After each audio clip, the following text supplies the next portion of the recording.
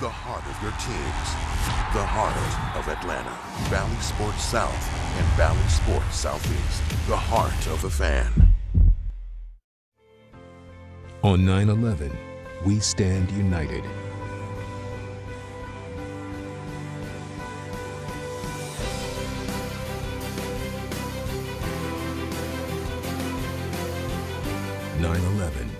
Never forget.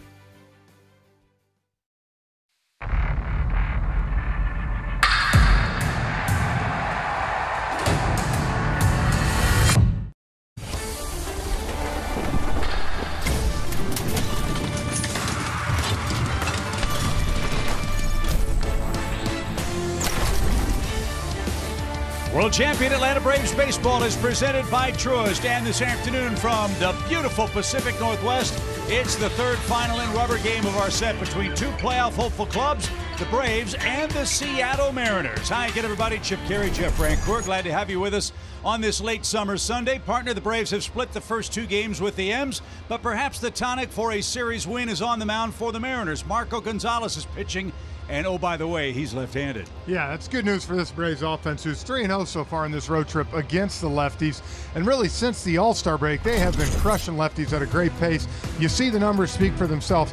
A right handed heavy lineup for the Braves sets up well. And then, of course, when you have Matt Olson, Michael Harris, who hit lefties great too, really does a trick for them. And on the other side, it'll be nice. You got Jake Odorizzi getting the ball for the Braves today. Has not started since August 28th, had a little bit of a tired arm, but before that, you can see he had two really good starts for the Braves after struggling a couple, and has pitched three times against the Mariners this year, 13 and two thirds scoreless right now. So hopefully it lines up for a Braves win and a Braves series win. And think about this Matt Olson hits lefties well, six career homers against Marco Gonzalez. Hopefully that trend continues in the rubber game of this series. We will have more from Seattle on this September 11th, 2022. The Braves and the M's wrap up our three game series today here on Bally Sports.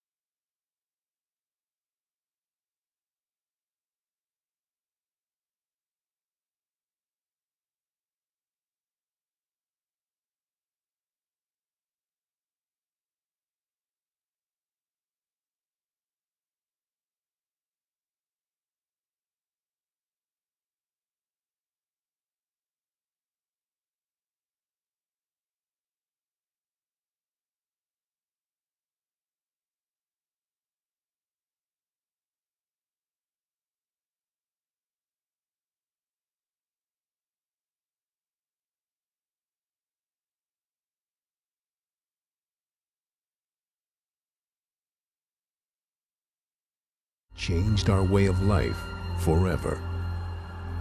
Today, our fellow citizens, our way of life, our very freedom came under attack in a series of deliberate and deadly terrorist acts.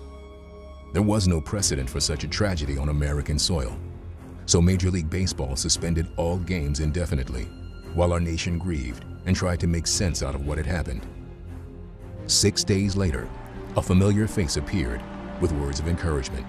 The President of the United States has said it is time to go back to work. And so, despite a heavy heart, baseball gets up out of the dirt, brushes itself off, and will follow his command, hoping in some small way to inspire the nation to do the same. And then another baseball legend confirmed that it was time to play. I don't know about you, but as for me, the question has already been answered. Should we be here? Yes. There was magic in the air. It is goosebumps at the Metrodome as baseball begins again. And when Mike Piazza stepped up to the plate during the first game back in New York, there were fireworks. Lopez wants it away. And it's hit deep to left center. Andruw Jones on the run. This one has a chance. Home run! Mike Piazza and the Mets lead 3 to 2. And before game three of the World Series, the president gave us all something to cheer about. I was, uh, you know, loosening up, and Derek Jeter came in. He said, "Hey, Mr. President, you gonna be throwing from the mound or from the, you know, from the front of the mound?" I said, "What do you think, Derek?" He said, "Throw from the mound." And please welcome the President of the United States. The energy and the crowd and the noise was really, really uh, powerful. The place went nuts. All of us just kind of looked at each other and like, that was pretty freaking cool. And I don't think I've ever seen a, a country more unified than it was right then and there. Though our country suffered tremendously, let's remember how we all stood together to create an even stronger America. 9 11, never forget.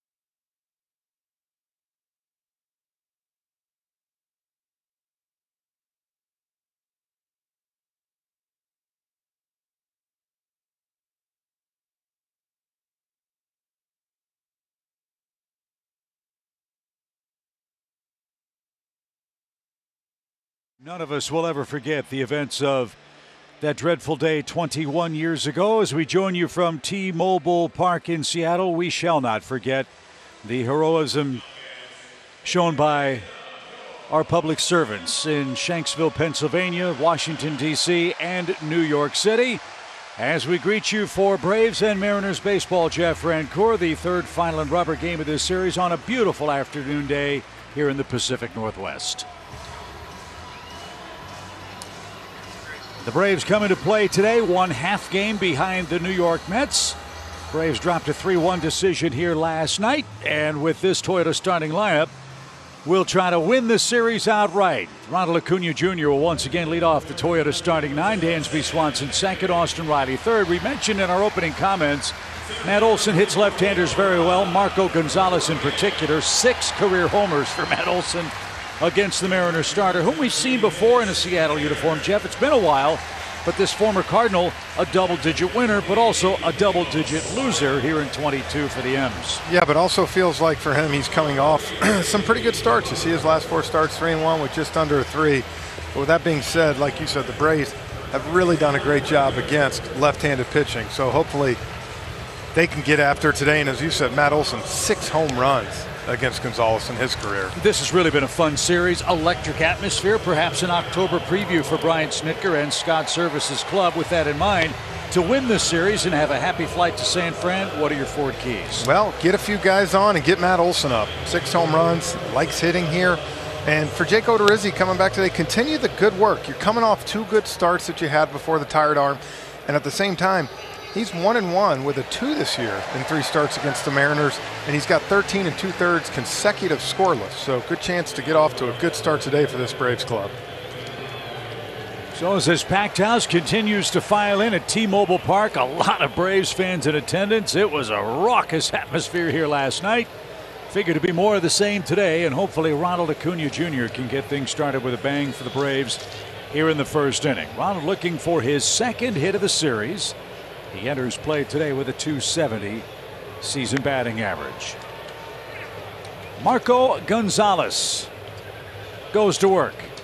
And the first one is whacked back to the screen, and we are underway.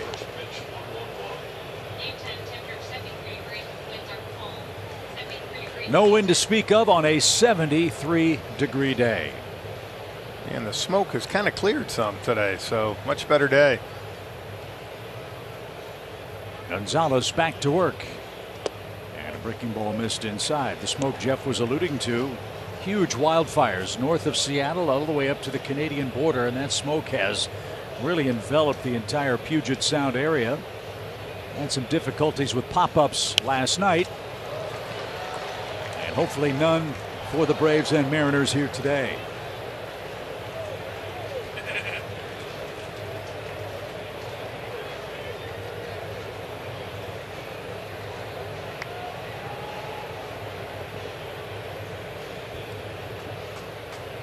One ball, two strikes for Ronald, who takes upstairs and an even count at two and two. Braves are having a great month. They're seven and one in September. Looking for win number 88 today. And that's pulled foul.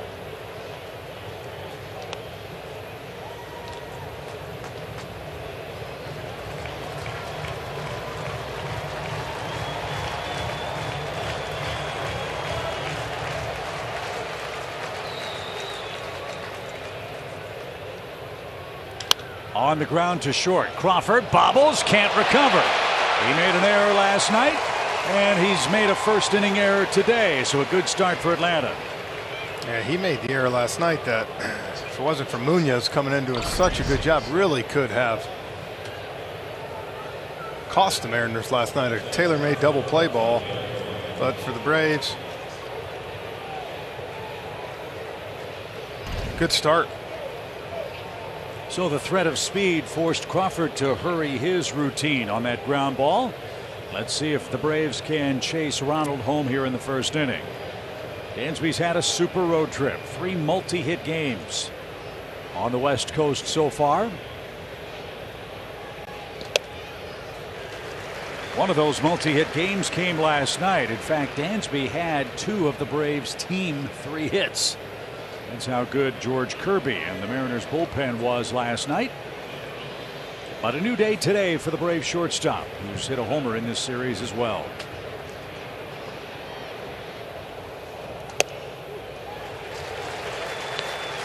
It's 0 2.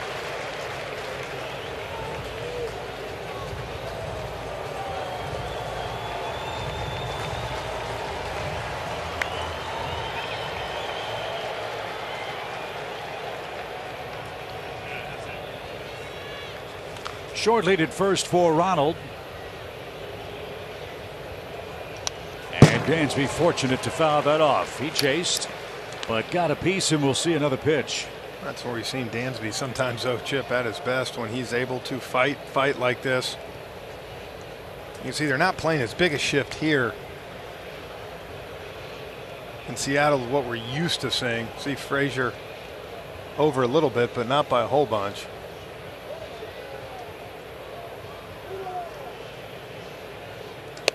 Chased a high fastball, and there's out number one in the first inning. Gonzalez is not a big strikeout guy. He's averaging a strikeout about every two innings, but a big one there for out number one, and that brings up Austin Riley.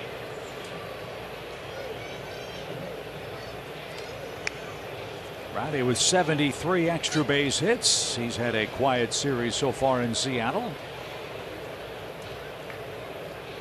See if he can change that as the sun tries to peek through the haze. The pitch is fouled at the plate.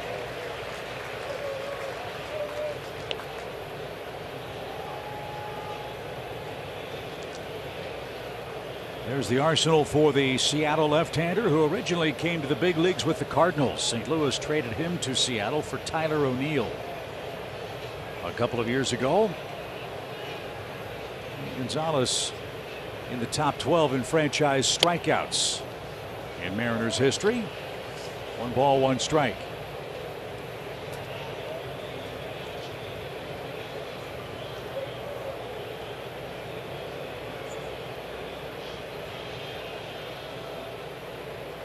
Acuna and Santana, Santana, I should say, standing over at first base, and that's off the mask of Cal Raleigh. Been the Iron Man behind the plate in this series for the Mariners. A ball and two strikes.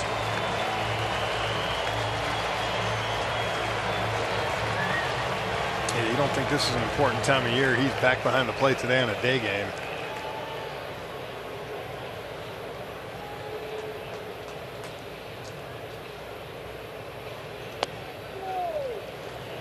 Blaise Agenot trying to catch, pass, and stay ahead of the Mets in the East.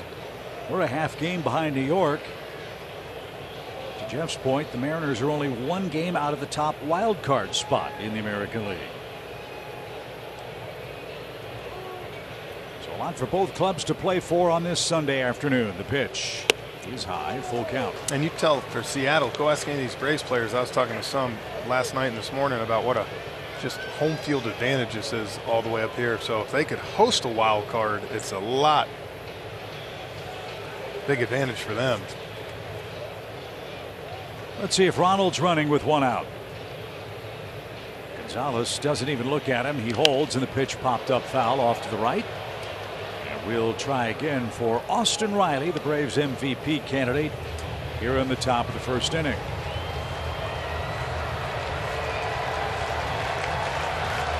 And Scott Servais seventh year as the Seattle manager. It's been over two decades since the Mariners were in the playoffs.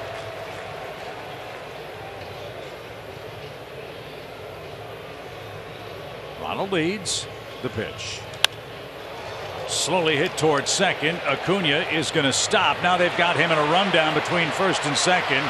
Riley is out at first. Ronald slips and falls. And it's an unconventional double play to end the Atlanta first inning.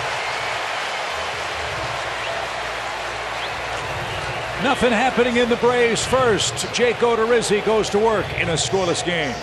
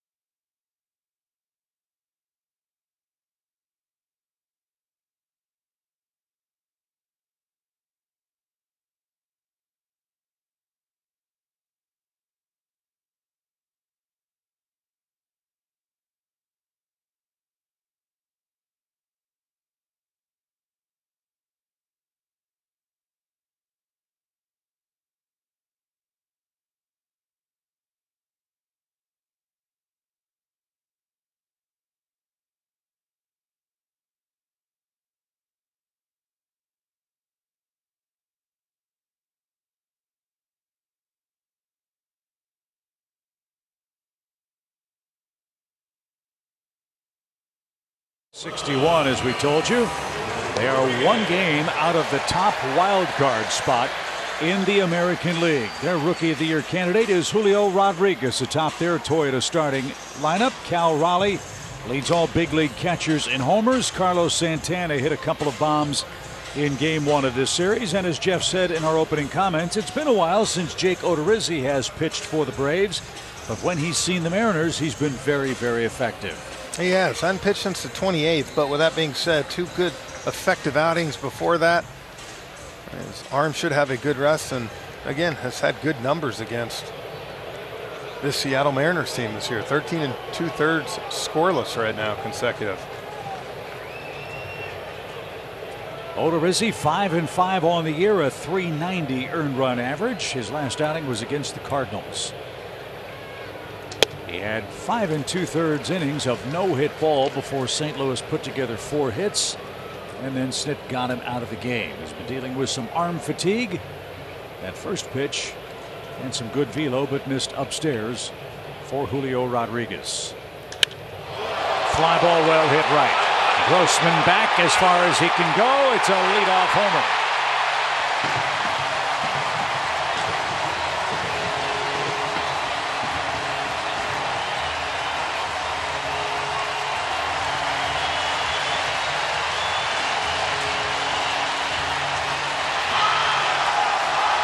Talked on the pregame about two of the best center fielders in baseball right now, Rodriguez for them and Michael Harris for the Braves, and these guys have put on a show.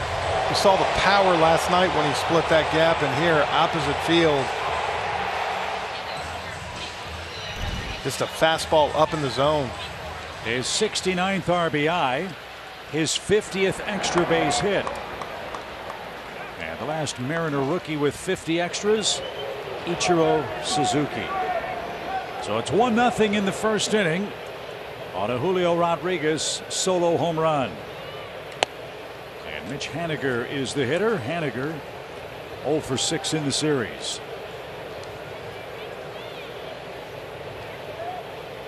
So that ends the scoreless streak for Jake against Seattle. Let's hold him to one. As this one's popped up right side, Matt Olson gives chase. And into the middle of the warning track, one last peek in front of the camera well for out number one.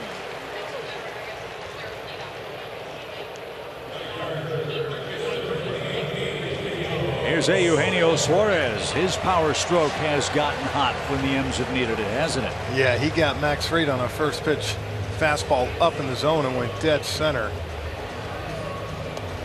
Really impressive last night.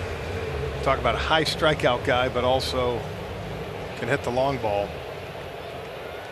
He's two homers away from 30 home runs in his last four full major league seasons. They're not counting the COVID year, of course. The only other player to do that is Paul Goldschmidt, who's another National League MVP candidate. So a Eugenio Suarez, former Red, now a Mariners star. 1 0 pitch.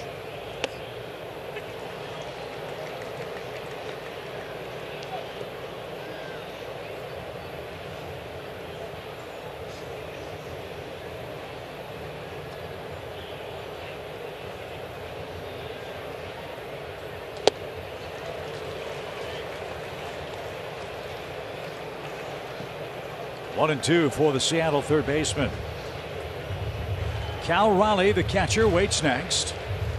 Mariners strike on Julio Rodriguez's third leadoff homer of the year.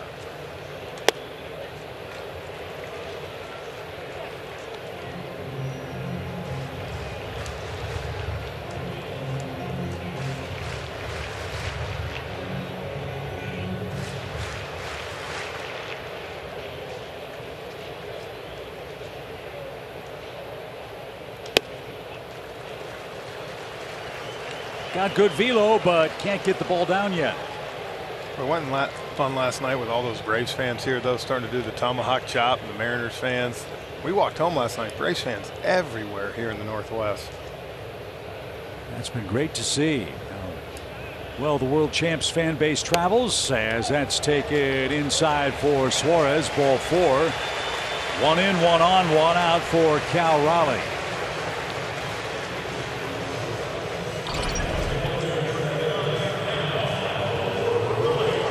Boy, that didn't miss by much, I'll Nope. tell you that.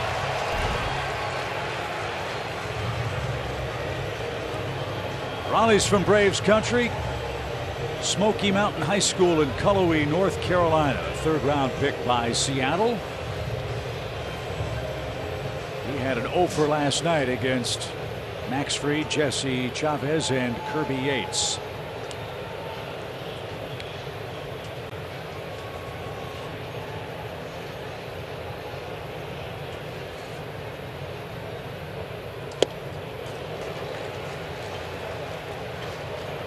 Don't get cheated. They've hit 165 homers as a team. We told you Raleigh with 23 of them.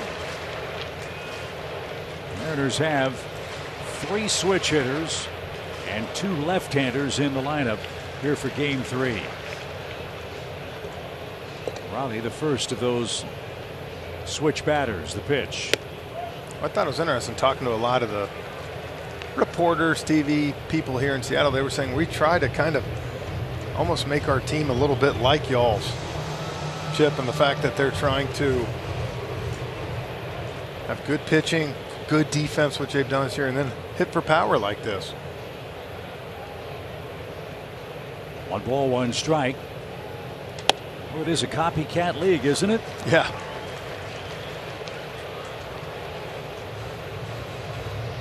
And Odorizzi having trouble getting ahead of these hitters. More balls than strikes in the first 13 pitches in the inning.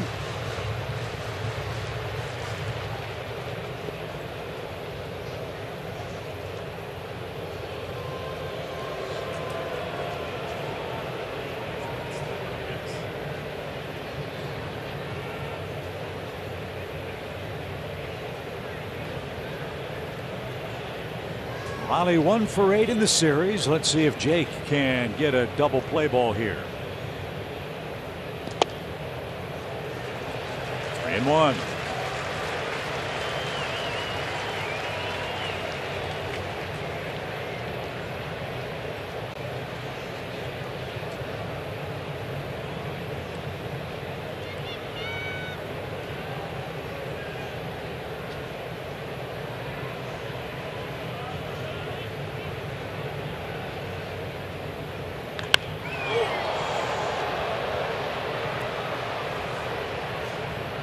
That one three quarters of the way into the upper deck, but about 95 feet foul.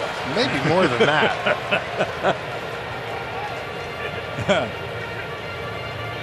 Full count. That would be the definition of getting the head out.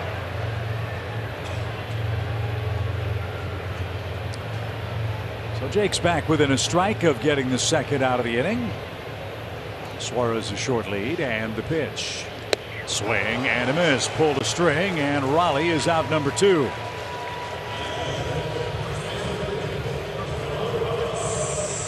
And here is Santana. He's playing first base today. Man, what a beautiful pitch. A little higher up than Jake wanted to, but with that being said, the change of speed. Good jab after you saw Riley get the head out like that, really coming after a fastball, took advantage of that. Good pitch selection.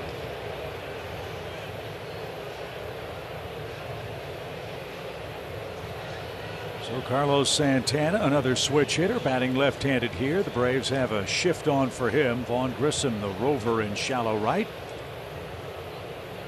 As Jake turns it loose, and it's hit right to Grissom on a big hop. And the flip to first is in time, and that retires the side. Seattle gets a leadoff homer, and they take a 1 0 lead into the second inning here at T Mobile Park.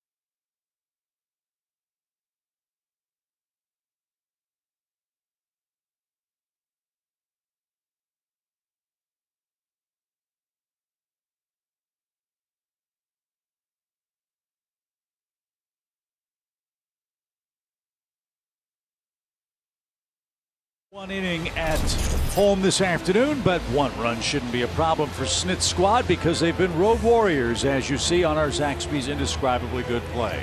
You see that record, second in the NL. They're tied with the Brewers for the most home runs on the road. And they're 13 and 3 in their last 16 road games. And you know as well as I do, when you're in a pennant race, man, the ability to win on the road like that is huge.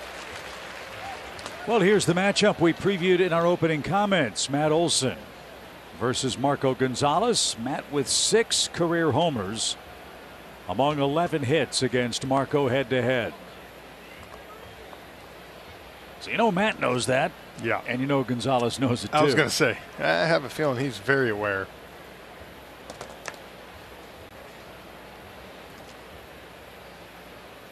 Did you have a guy that you just owned like this as far as power was concerned? Yeah, there were a couple guys that you just, I'm not going to call them out.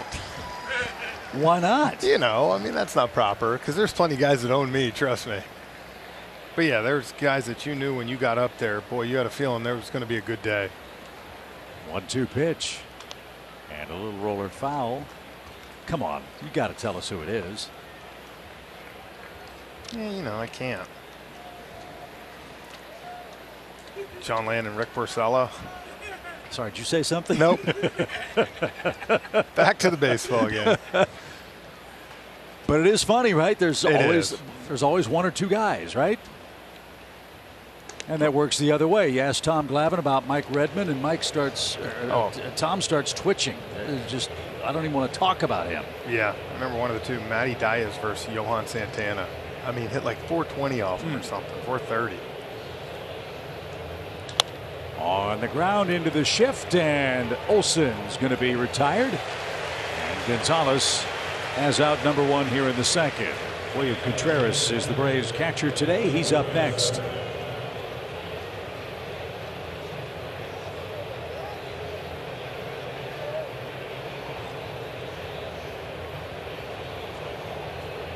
Seventeen homers for William, trying to get to the 20 home run mark or more. That's his pace. The last Brave catcher with 20 homers, Brian McCann, who hit 24 of them. And in for a strike. Him and d'Arnaud both knocking on that 20 home run door. Braves catching core has been outstanding. And I'll say how big it is too because you're able to rest those guys. You know, you're not wearing a guy out for 125 games. You get to that postseason and, you know, they're tired. Instead of that, for this Braves team, both these catchers still relatively fresh. On the ground to short. Crawford handles this one cleanly and gets his man by a step. Two outs. And Vaughn Grissom is the hitter. Grissom moves up to the sixth spot in the lineup. Why? Well, he's having a good road trip. In fact, he's having a good week. Hitting 400 this week with a couple of homers, six RBIs, and four extra base hits. You know, so funny. It reminds me so much of Brian McCann and myself, where a lefty, Vaughn hit six, Michael Harris hit seventh, and versus righty, they flop him again. And both guys have just done great work at the bottom part of this lineup. The ability to score at any point is so big, especially when you get into the postseason. We saw that last year, having a deep lineup. Didn't mean to, as that's fouled away. What's been so impressive to me about Vaughn and Michael Harris is the moment has not been too big for them. They do not play or act like rookies. Yeah.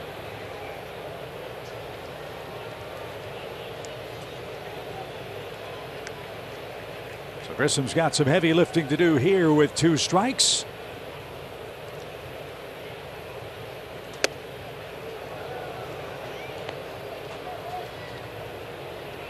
He'll see another pitch. One ball, two strikes your count.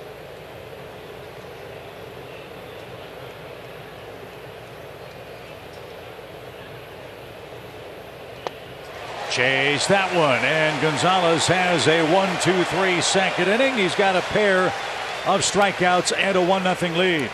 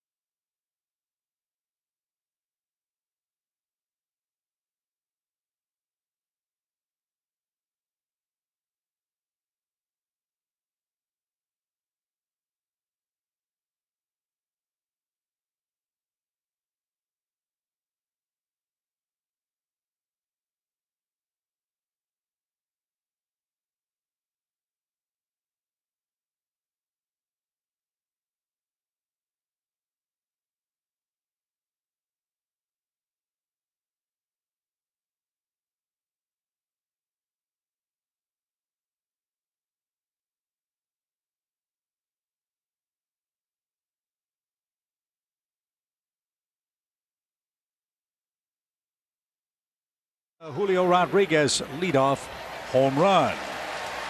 Jake Odorizzi on the mound for Atlanta. Let's talk about the Braves starting staff. That is brought to you by our friends at Coors Light. It's our beating the pressure feature.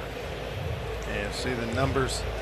Top three in the NL in all those categories, and starters are striking out 27% of batters face, best in all of baseball. Rizzi has a strikeout in his first inning. He'll face Adam Frazier, who played late last night. He earned a two out walk that turned into a big insurance run for Seattle. Adams, a local kid who's been with the Pirates, San Diego, now Seattle. And as I said last night, truly a tough man for the Braves to get out. A career 300 hitter against his big league hometown team. And he does it again with a leadoff single to start the second inning.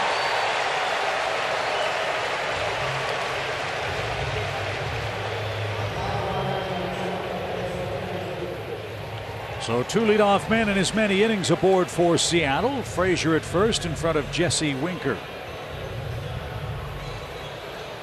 This guy's been a nice fit for the Mariners. 13 homers, 79 walks. So he's not just up there wailing away. He was an all-star with the Cincinnati Reds a couple of years ago. When Cincinnati started cutting payroll, they sent Winker and Suarez out to the Pacific Northwest.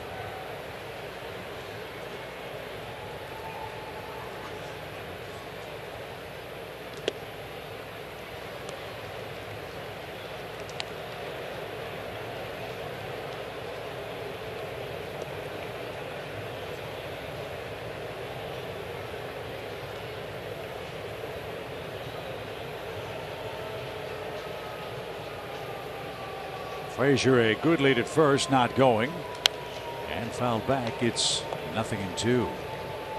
The lights are on here at T-Mobile Park again with the haze and smoke in the Puget Sound area. Trying to help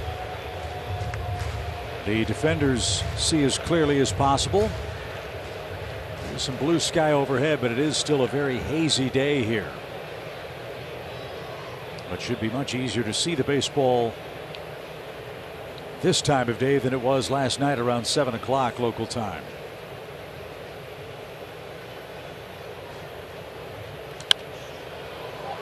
And upper deck out of play. It's wow. 0 2. Steve Schatz, our audio director here today in Seattle, and that was a shot of those wildfires taken from his flight into town yesterday. And all that smoke is enveloping metropolitan Seattle. So thank you, Steve, for that. No balls, two strikes.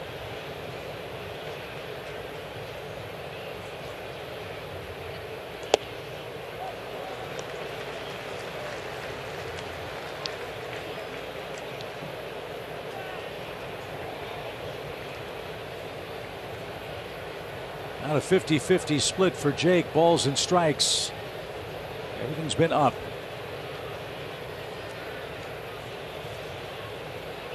Now the count one and two. Up again. Two balls, two strikes.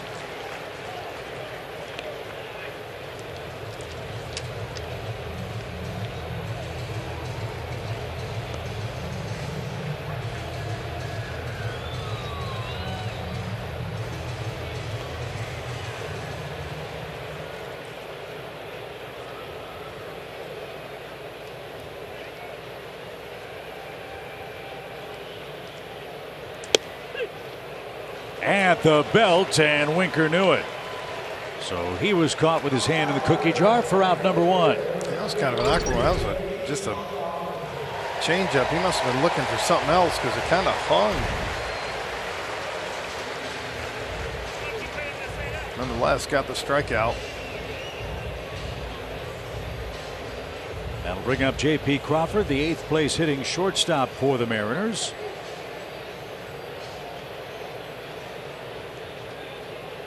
Crawford batting 252 on the year. It has one hit in the series.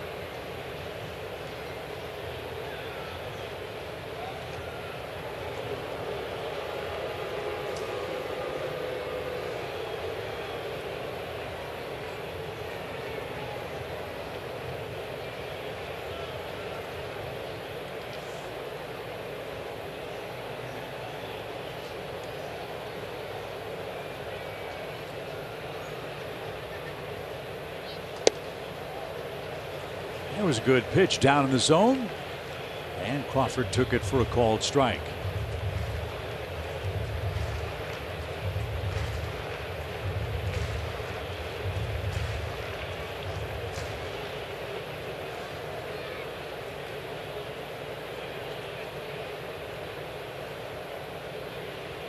Runner goes, pitch high. The Contreras throw on the money and not in time. Oh, Dansby's point right away, though. For the moment, Frazier is safely in at second base. Swipe tag by Swanson. Did he get the hand? Oh, yeah. I think he got him right on the forearm before the hand got there, Chip. Oh, the right hand on that corner of the bag. We'll see if the Braves challenge. The swim move might have saved Frazier. It does not look like the Braves will argue the call at second. I think it's one of those that so close you don't know and the last thing you can to me at that point is lose that challenge this early. So RBI chance for the Seattle shortstop J.P. Crawford. Stolen base number nine for Adam Frazier. And it's served to the left side. Riley, long throw to first, and that holds the runner. Crawford tried to shoot that gap between the shortstop and third baseman, but Riley in the right place, and that's out number two. Right now, Jake, the pitch he's getting these guys out with, and maybe you're seeing it because of Max Fried last night, but it's been that changeup. We saw Max get a lot of swing and misses. Kirby Yates, same thing coming in with that split. And I wonder, Jeff, if it's a matter of just throwing enough pitches to get a feel for a touch Yeah. pitch after the time that Well, Jake has had off. Yeah, and you think, I mean, the one run he gave up today was first pitch of the game, kind of him back before you knew it. But since then, he's kind of settled in. This is Sam Haggerty. He's hitting over 300 over the last month for the Mariners. He made a circus catch in foul ground here last night. Didn't get that. Strike one. He ran a lot Yes. down the left field line here yesterday.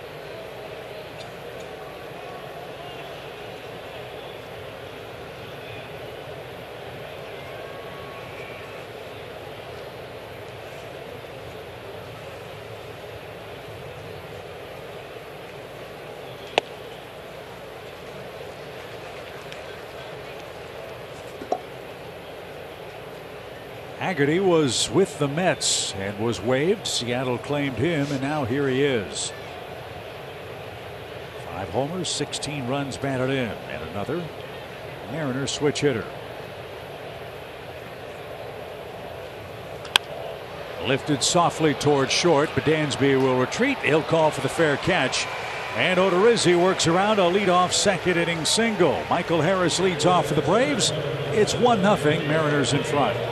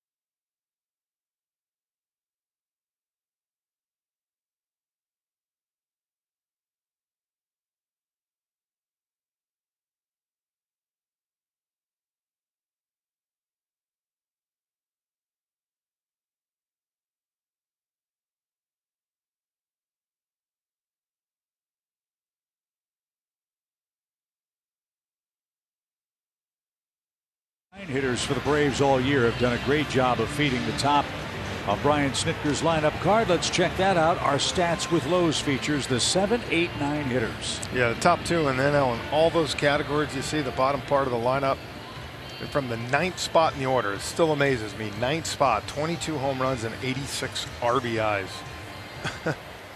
How'd you like that to have that hitting ninth in your lineup? Most teams don't even have that in three or four. Nope. So that's the unenviable task for Marco Gonzalez, who's been staked to a 1 0 lead. And he misses inside for Michael Harris. The Braves have gone on a great roll since Michael Harris joined this club out on the West Coast. He and Vaughn Grissom have been a great lift. Grissom and the Braves 22 and 6 since Vaughn took over at second base once Arcia got hurt. And you know what the Braves have done since June 1 yeah. with Michael Harris in the outfield.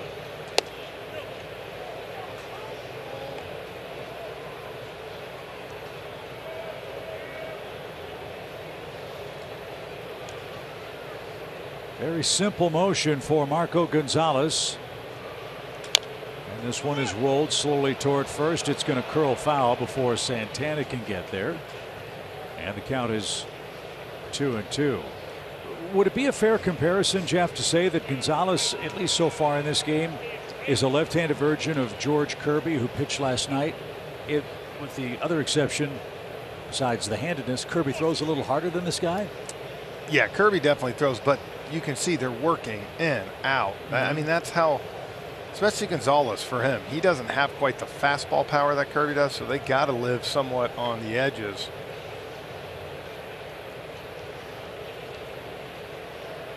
Two balls, two strikes. And Michael went fishing up and out of the zone. That is strikeout number three for a man that doesn't average a strikeout per inning. Gonzalez off to a flying start here in the third inning with Marcell Ozuna coming up.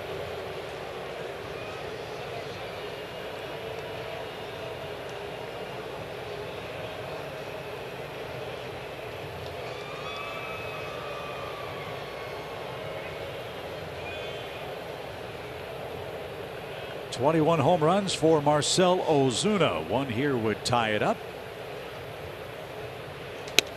We've seen him lately start to get going a little bit, get a little hotter in what he's been doing.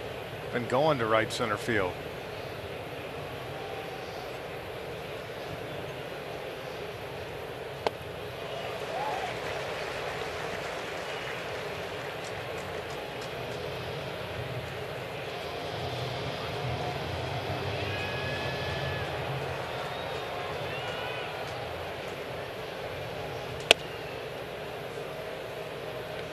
Two balls and a strike. Robbie Grossman will follow here in the Atlanta third.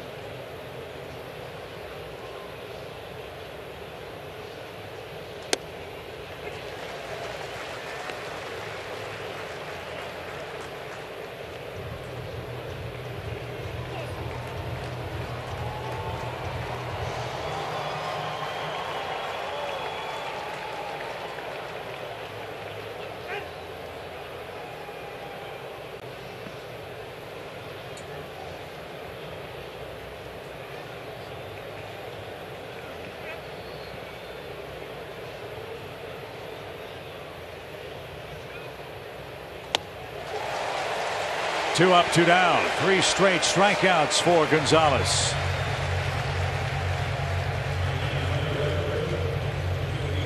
Change up away, heater in.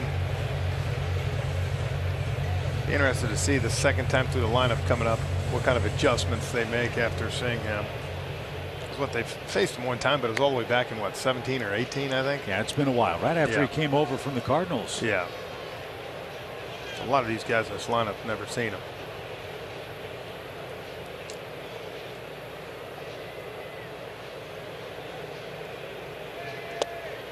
Robbie Grossman takes a strike. Had a big hit game here the other night. Went three for four. Ooh.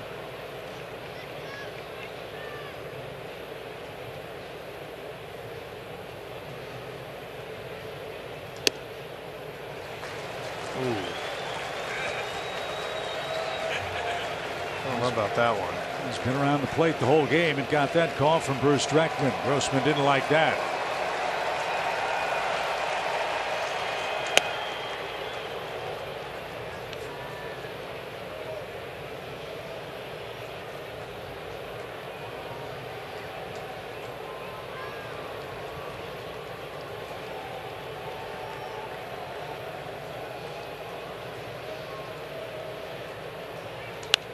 Back our way and off to the right. Man, the radio booth got another one. Yeah, last night Dansby Swanson hit a foul ball that went right between Ben Ingram and Joe Simpson, Yeah. dented the wall. Put a wall hole in it. There's Ben right there. Look at him. He caught it. Man. Smoked foul to the left side. I get the feeling if we're going to get one, this is it. You you are in prime territory. Don't let us down. Don't worry. Okay, if it's coming at your face, I'll catch it. It's your moneymaker. I don't know about that. One and two bases empty. With Seattle up by a run.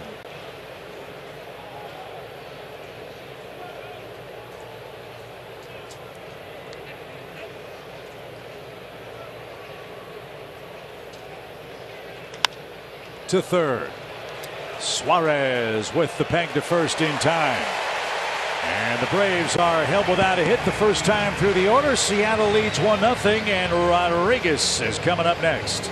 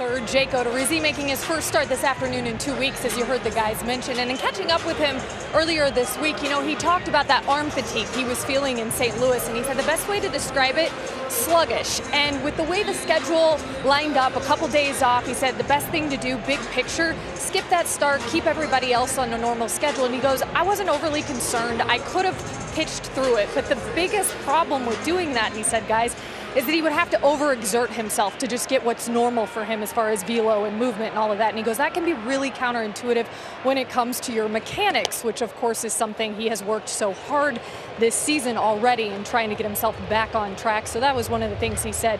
It just made sense. Skip that one start, try to keep yourself on track as far as mechanics go. And that's kind of what I think we're keeping an eye on here this afternoon. I think Kelly, too, when you talk about it, they've been able to do that because of the depth chip that we've had down in the minor league. Having guys come up, Bryce Elder, Kyle Muller that other time, and fill the role, it gives you a chance. They did it with Kyle Wright pushing him back, and it paid huge dividends for him.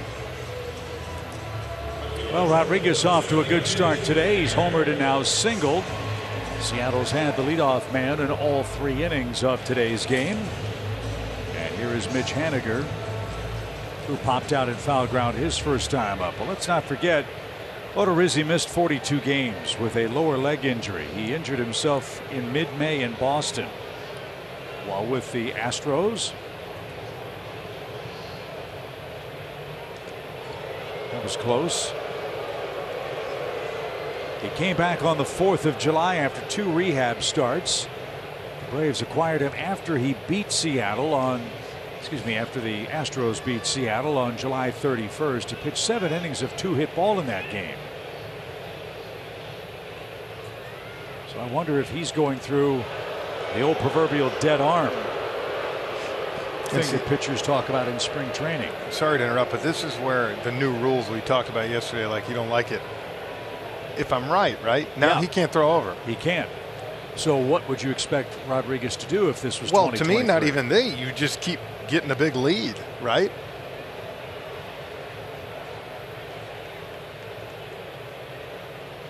It was announced on Friday that Major League Baseball's Rules Committee will have a pitch clock next year. They will ban defensive shifts. By that I mean two designated defenders on each side of second base that will have to be on the infield dirt. You won't be able to line up as the Braves are in this spot. And more importantly, after two throws over to first, if they're unsuccessful, you can't throw over a third time.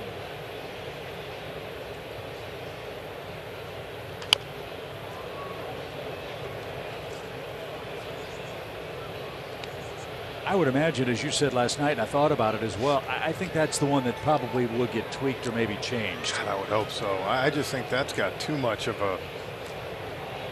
You know, you make the bags a little bigger. It's fine. You know, like I said, the pitch clock. You've kind of guys have known If That one, it's a little like you take away the integrity of the game for me. One ball, one strike for Haniger. Runner goes, got a good jump from the knees. Contreras' throw, got him on the back leg. What a beautiful throw from the knees.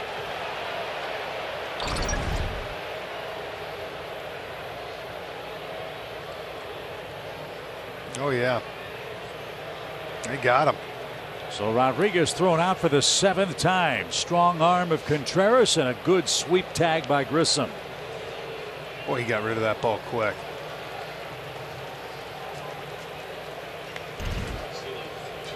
So big when you can be able to have a catcher like that that can do that and get the pitcher back with one out now. And back to the windup for Haniger. The pitch is fouled back. It's two and two.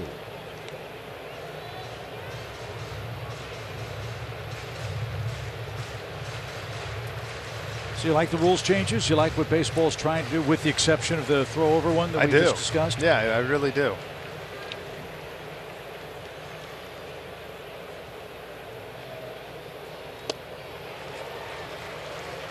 Swing and a miss for out number two. I think it'll be fascinating to see how teams structure their rosters. I think Kelly, it'll be fun to see how the guys who have to move into the shift react next year when they don't get all their steps in before That's the third inning. exactly what I asked Austin Riley about, and he goes, "Listen, I'm not going to be upset about it. I'll find a different way to get my steps in." But his biggest thing about the shift has always been the extremes, and he goes, "I understand two players on each side, but I just feel like you got need to be in the dirt." But he goes, "I know lefties are going to love it. I know Olson is pumped about it." Um, but he also talked about the shorter games. You think about less time on your feet, body feels better, and you recover a little quickly. He goes, "I have no problem with that." So I think as far as the pitch clock goes, he's kind of looking forward to that one. And we know, well, the shift. You know, he'll get his steps otherwhere. Yeah, and look, uh, we've talked about this, you know, numerous times, all of us together, and I said more of than anything for the shift for me. Part of me was like, okay, play where you want, but wherever you start the batter, you got to stay there. Like the idea Yeah. of Austin Riley running from third base with two strikes now all the way back over, I, it just, to me, it takes away from it. That's, you know, just play ball. More after a 2-0 pitch for Eugenio Suarez, who walked his first time up. 1-0 Seattle. Their run came in the first inning. It's two balls and a strike.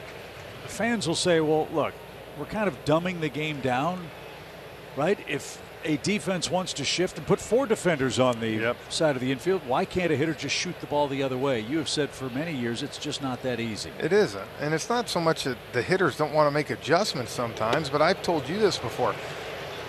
I don't mind Matt Olson going the other way sometimes. I also want to see Matt Olson swing the bat. Right. You know what I'm saying? Mm -hmm. And and take some big swings. That's I mean that's what you know, and to me sometimes you can defeat the purpose of doing that. I see it both ways, like I said, but Oh, that was just above the letters, I suppose, for a full count. And it's not time of game, it's pace of game. Yeah. It's about the action in the game, and those are the things that baseball is trying to improve on and get away from the three outcome sport that we've seen for the last decade or so. Homer walk and strikeout. Look, last night, two hour, what, 48, 49 minute game. It was a great pace. Yep. It was good action, good pitching, some good.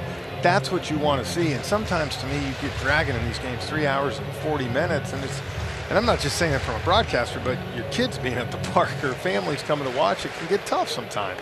So I think all that will really help the pace of the play, of the game, bring a lot of fans. Mile high pop up. The Braves were in a shift. Grossman's coming in from right, and he and Grissom collide. Vaughn is down in a heap in shallow right field. He might have taken an elbow on that catch in right for the third out of the inning.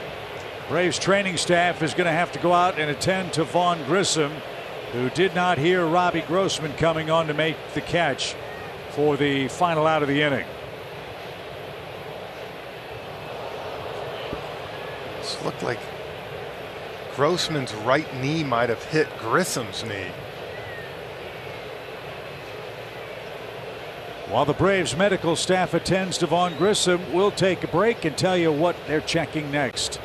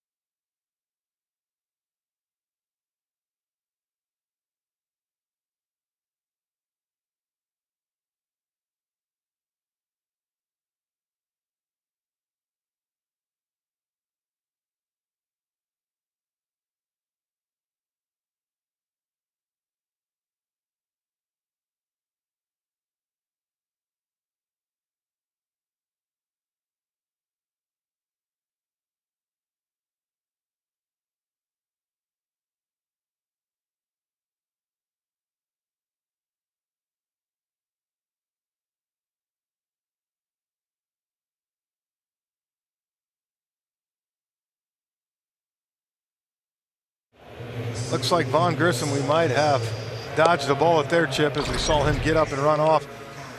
He just kept going and going, and obviously Grossman camped out there. And he went right for that right knee. Watch him. See how he grabs it right when he went to the ground? So keep an eye on Grissom's right knee right here. Kind of took it right in the back of his leg.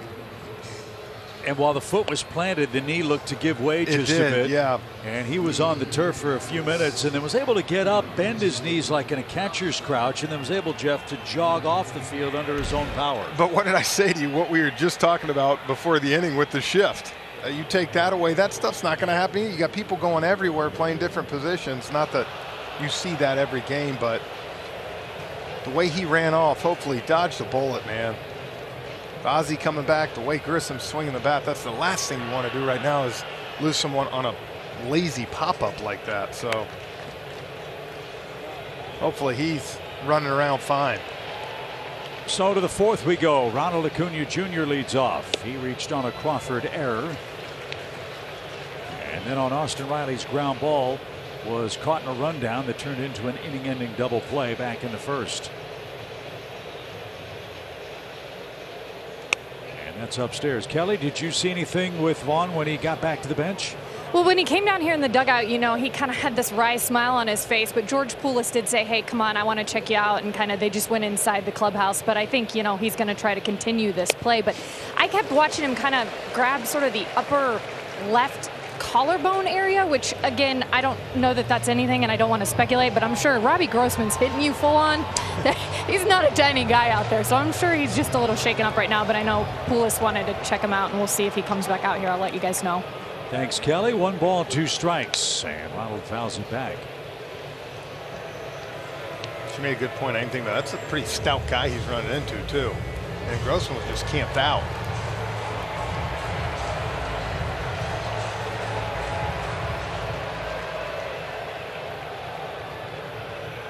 Gonzalez back to work.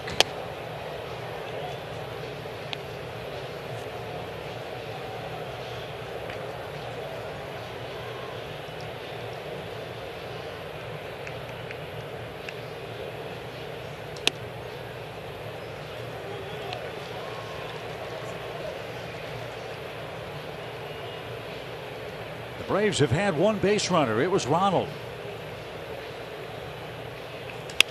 This one hit in the air towards shallow left center. Rodriguez broke back and has a beat on that for out number one. That ball got in on Ronald's hands a bit. One man down. Dansby Swanson, the hitter. First, a word from Texas Pete. Welcome to the tribe. The Texas Pete tried and true. Texas Pete, sauce like you mean it. 19 homer man Dansby Swanson digs in. He's looking to get to 20 or more homers in back to back years. He owns the franchise record for RBIs for a shortstop. There's been only one other shortstop in franchise history with 20 homers besides Dansby. That was Denis Menke back in the 60s watching what he's doing to these Braves hitters right now, Chip, it's almost they're going to have to pick out a spot that they want to go. Either look for the ball away or in and stay there and commit to that. Because right now, he is going in and out, up and down, no rhyme or reason. If you're trying to cover the whole plate, that's what Gonzalez is trying to get you to do. So if you're looking out over that plate, look out. If there's anything in, either take it or try to foul it off. There's hardly been anything hit the other way by a Braves hitter, left-handed or right-handed against Gonzalez yet. And so if you were in the box, which side of the plate would you choose? I think right now to keep you on that changeup, I would look to shoot that ball to right center if I'm a right-hander right now. And if he comes in only at 90, tell yourself I can foul it off worst case. Just like that. And ball's a little bit off the plate, but still these hitters are good enough they can go out and get that.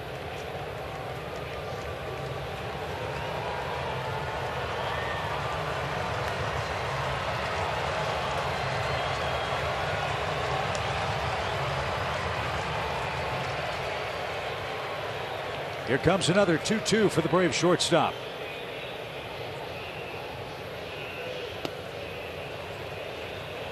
See, then by doing that, makes you lay off that pitch. This one Dansby usually bears down too. Two strikes.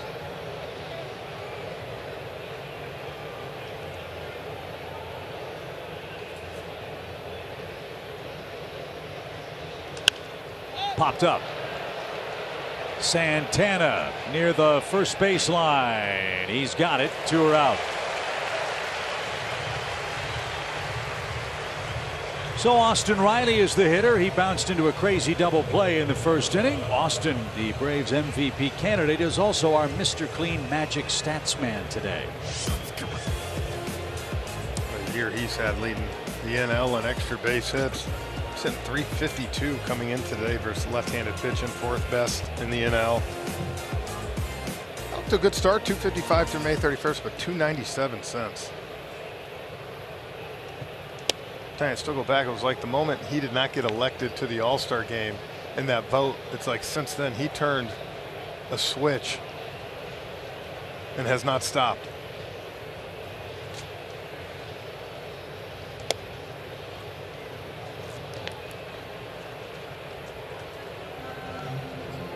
Two balls, no strikes. Riley's double play in the first inning, a 4 3 6 4 twin killing. And now he's way ahead, three balls, no strikes. And Matt Olson, who again, six career homers against Marco Gonzalez, is lurking. Vaughn Grissom back on the dugout bench, talking things over with Michael Harris as Riley corks one deep left center field. That ball is way out of here into the bullpen. Austin Riley's 36th home run has tied this game. New life for Atlanta in the fourth.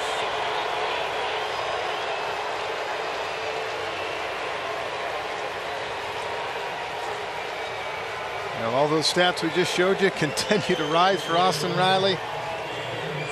That's a perfect example. He took every single pitch that was in. He tried to come in, and then he got a pitch up, out over the zone, full extension, and that was a no-doubter. Deep to left center. So 90 RBIs for Riley. It's a tie game. And here is Matt Olson. Braves have been so good all year long, Jeff, with two outs. They do it again here in the top of the fourth.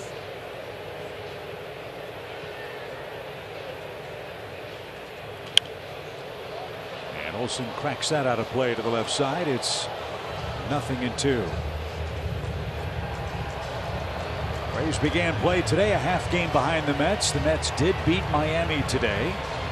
So we've got to win this game, win this series to stay a half game back entering action tomorrow night in San Francisco.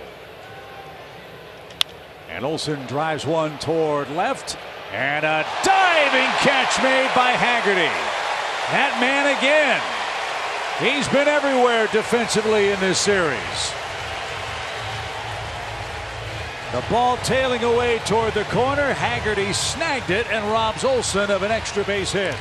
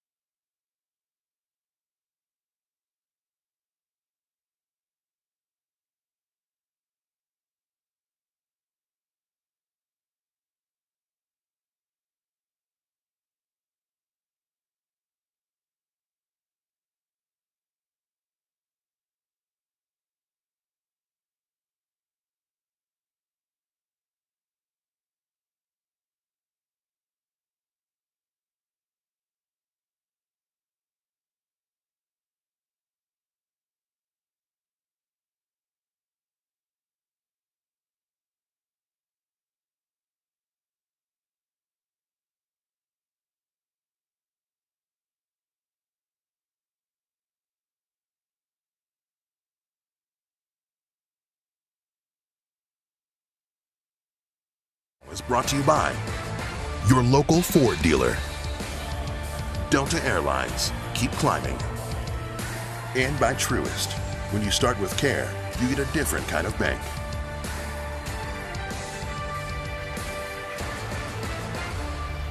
Braves have 78 wins this year when they hit a home run. Austin Riley ties it with a solo shot for number 36.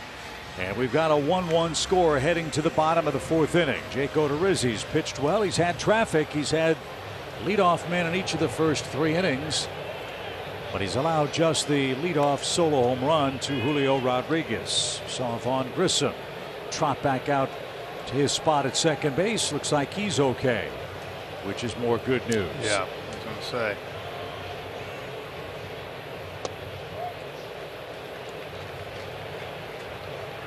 Raleigh, Santana, and Frazier, the Seattle hitters here in the fourth.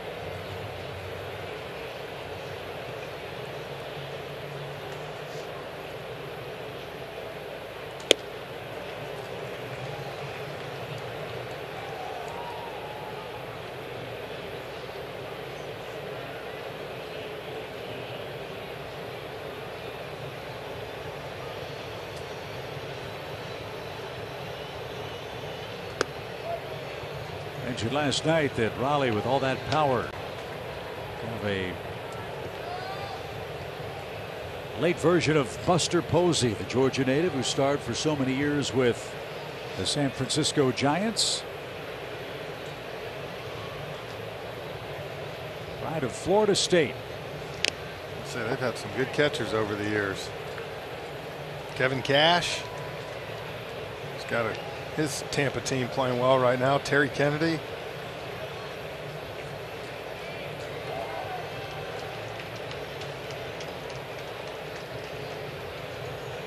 Two balls, two strikes. Leading off the fourth inning is Cal Raleigh. He struck out swinging in the first inning.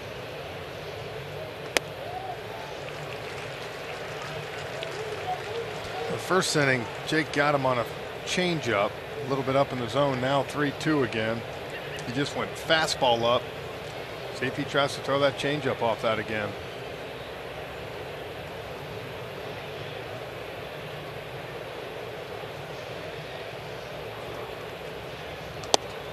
Missed inside. Another leadoff man is aboard. Second walk for Odorizzi.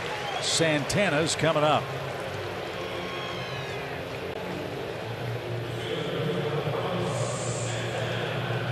Santana rolled out his first time. We'd like a similar result here as the Braves play in a shift. It's Dansby Swanson, the Braves shortstop, playing on the first base side of second now.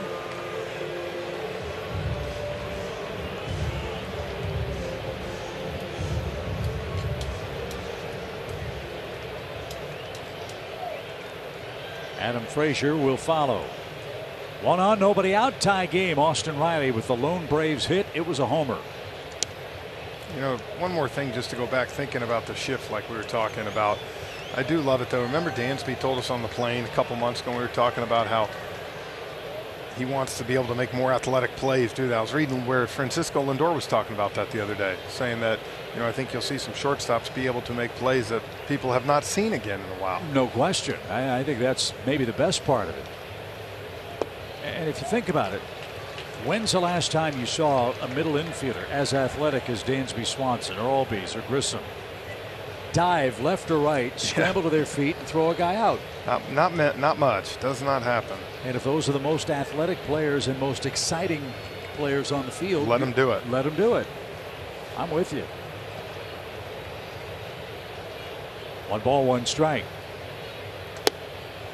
And Santana Man. pushed off the plate. That was a pretty good pitch. Santana might have stolen ball two. And as a pitcher out there, that that's the pitch you want. The flip count of one, two, and two, one is big.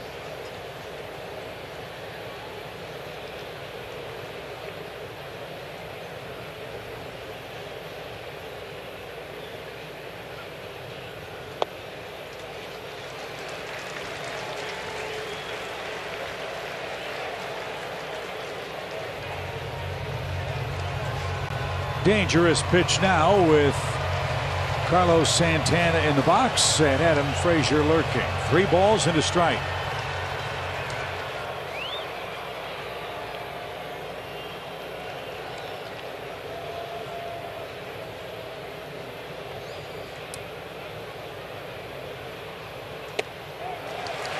Back to back walks begins the fourth inning.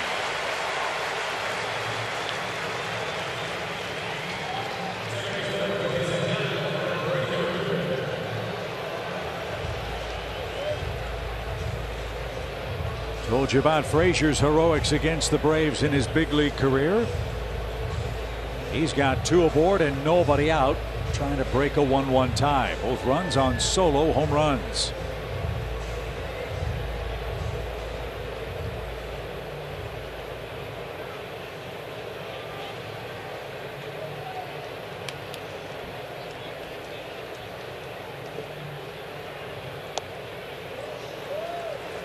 Jeez.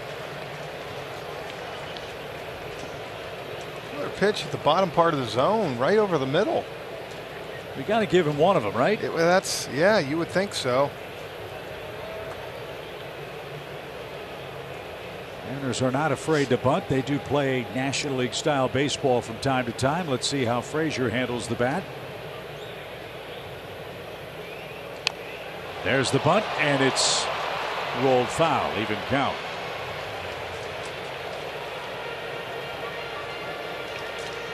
This year, Seattle has nine sacrifice bunts. Ironic, they're an American League team. The Braves, a National League team, don't have any. They're just built differently. These two offenses. And Frazier for the year has four of their nine sacrifice bunts.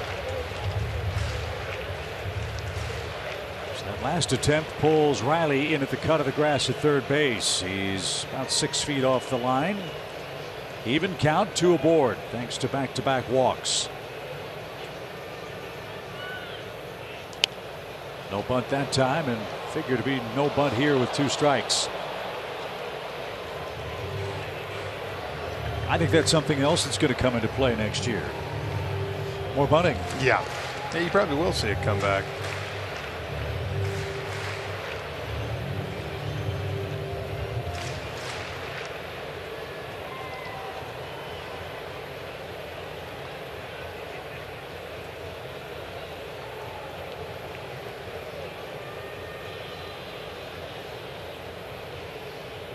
One two pitch.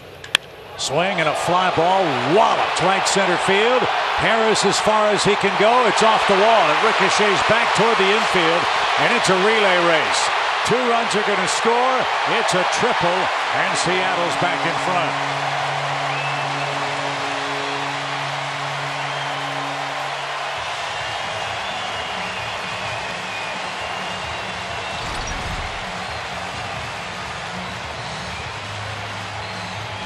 Fastball middle, middle, up, and Frazier drove it in that gap. And then by the ball bouncing as hard as it did. Triple, and you can see Santana there following Cal Raleigh.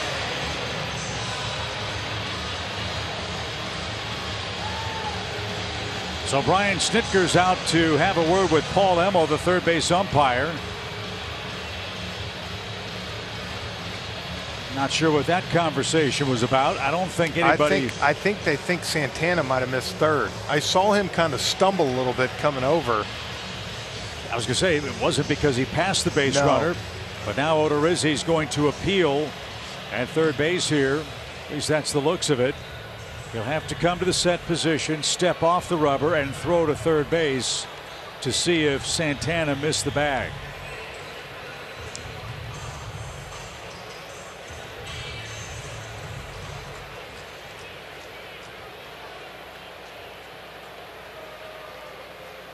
And he apparently did not.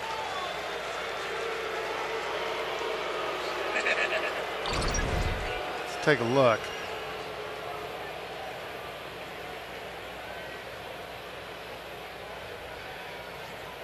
Looks like from there he might have got the front part of the bag with that with his foot. So Frazier couldn't advance the runners with a bunt. He did better than that with a bases clearing triple. Nobody out. The infield in for the Braves with Jesse Winker up. Winker struck out his first time up. Seattle's had the leadoff man in every inning. Two of those guys have scored. They've received three walks. Two of those have come in. And after Riley tied the game at one, Seattle has the lead right back. Mile high pop up won't get the job done for Jesse Winker. And Riley puts that away for out number one. Now there's one.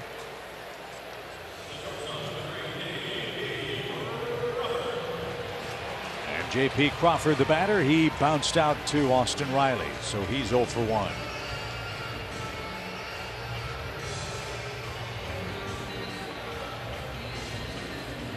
This guy was supposed to be the next big thing with the Philadelphia Phillies after Jimmy Rollins moved along. He's found a home here in Seattle. He's done a nice job.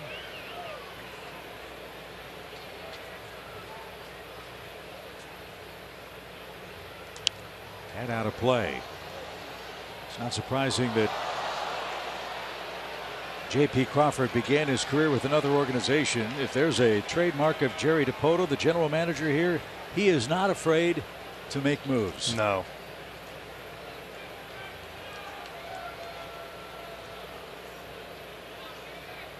Carlos Santana and J.P. Crawford for Jean Segura and two others. That was after the 2018 season.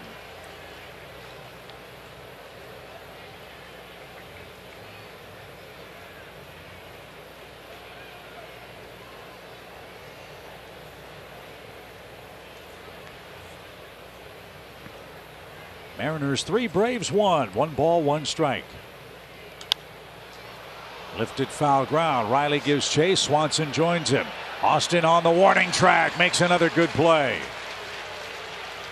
So Odorizzi gets two pop outs with Frazier at third. Now there are two outs and Sam Haggerty the final hope. Boy, if you could find a way to get out of this thing, Chip, with just two runs. Trust me, the Mariners know right now they need to try to find a way to push that in with the Braves offense. You got two. It's not done yet.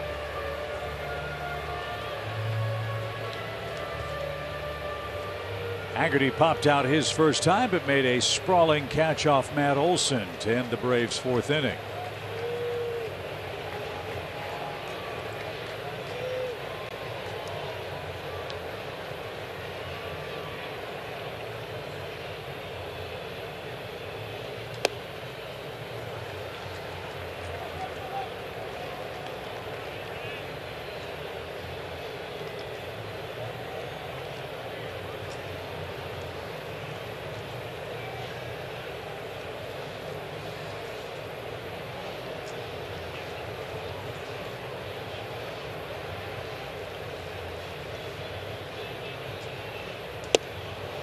Ball, one strike.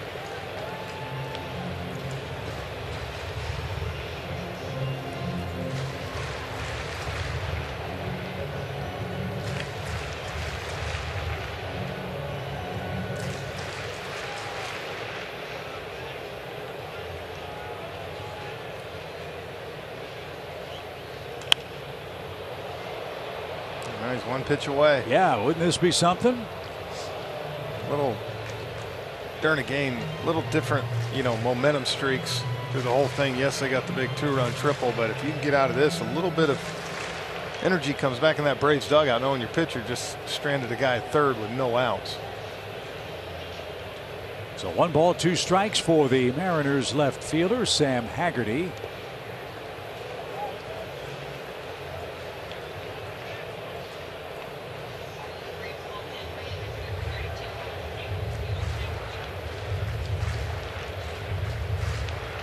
Collin McHugh has begun to warm up.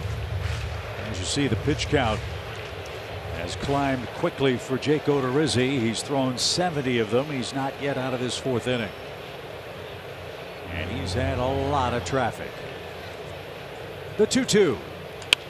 Base hit to left field. It's 4 1.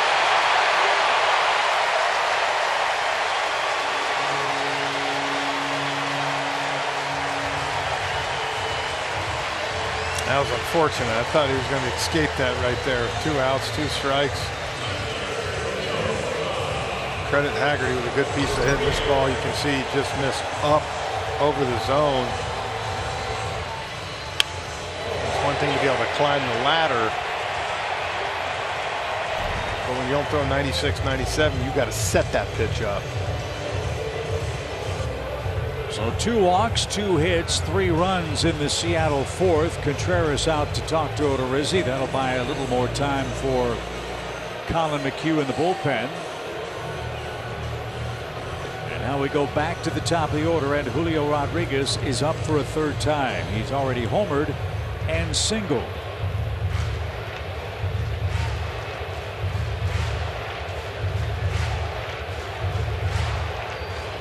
The first Mariner with a 20 homer, 20 stolen base year since Mike Cameron.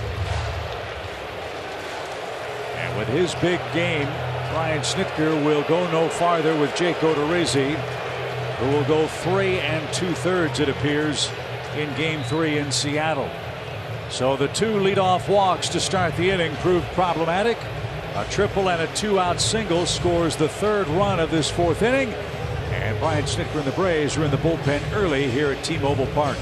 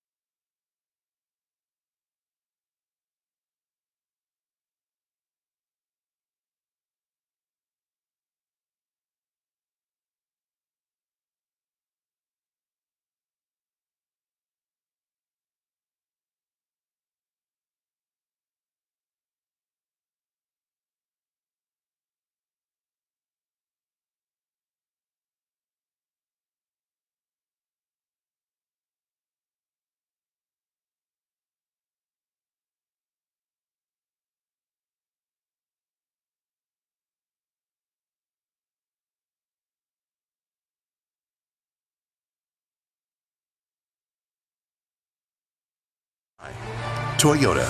Visit your local Toyota dealers today. Toyota, let's go places. And buy the Georgia Lottery. Today could be the day.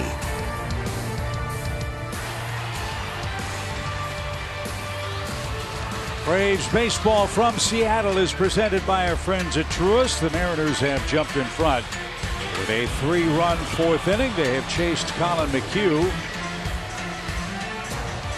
to the mound from the Braves bullpen. Jake Odorizzi started three and two thirds innings, five hits, four runs so far. Sam Haggerty is his responsibility. And here's Jeff where the value of a guy like Collin McHugh becomes evident. Eight innings out of him with three more games left on the road trip. Get this out, turn things back over to your offense and see what happens the rest of the way. Yeah, there's one thing we know with the Braves offense and their ability to hit the long ball, the three runs, they can erase that really quick. With that being said, you need Collin to come in here and eat a couple innings and keep this game right where it's at.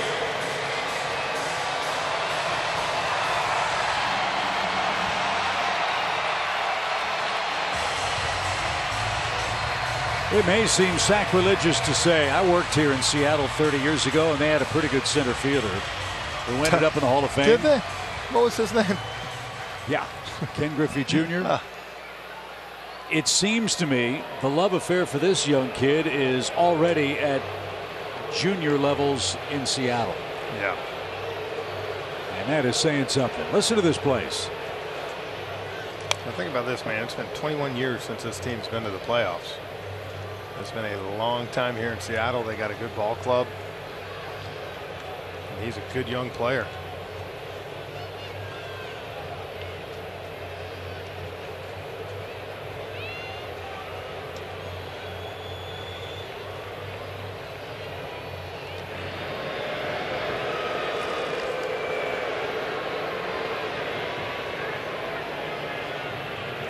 Julio Rodriguez was one year old when the Mariners made the postseason last. I don't know if he remembers that. Well, he's a great baseball fan. Anything's possible. Strike one, now strike two. What does that make you feel old?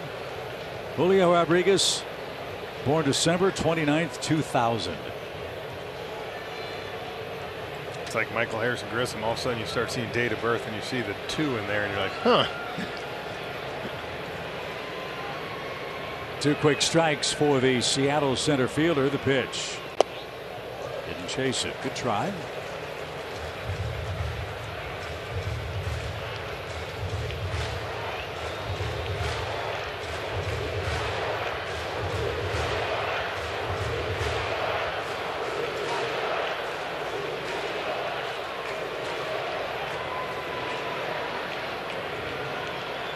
Haggerty leads at first. The pitch didn't chase that. Two balls, two strikes.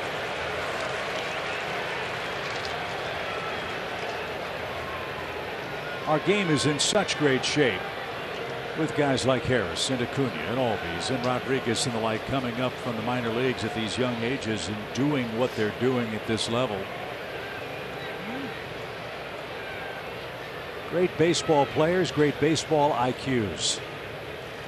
And fan favorites as McHugh puts out the fire. Ends Rodriguez's perfect day, and Seattle settles for three in the fourth. We go to the fifth inning. It's 4 1 Mariners in front.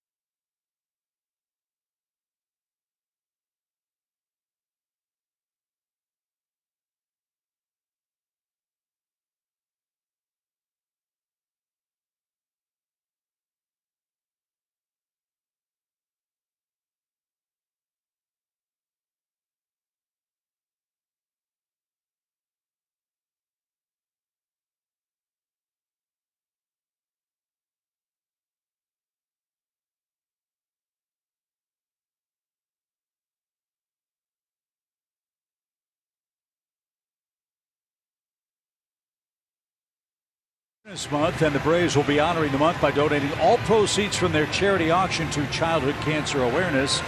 Auction items include signed jerseys, bats, and more from your favorite Braves players. Go to Braves.com slash charity auction to see the items available and to begin your bidding today. I know that's a charity near and dear to our pal Tom and Chris Glavine's heart. And we hope you'll go online and bid generously. Yes. In these most important of months. Hope our good buddy Tom's watching today, maybe down in Florida on the porch.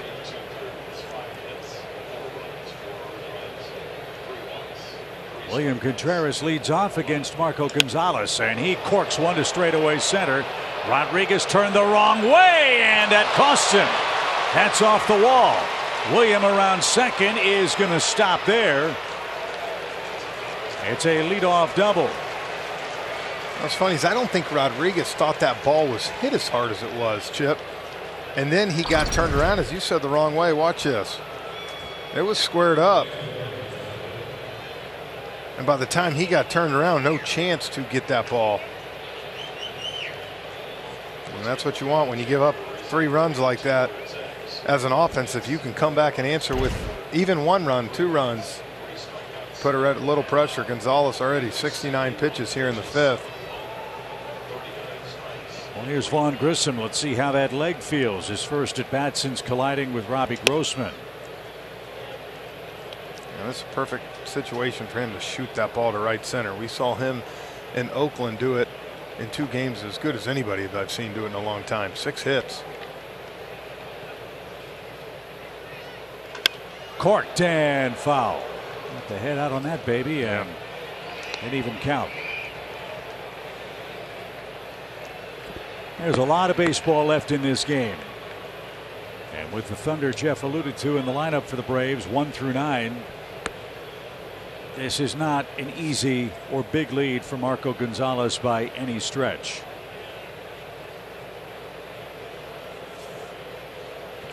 And for the Mariners, they're going to try to, I'm sure it's six, seven, start getting that bullpen going with an off day tomorrow. Try to use their gauntlet bullpen. On the ground to third, that won't advance the runner. And Grissom got down the line with no trouble. And he's out number one.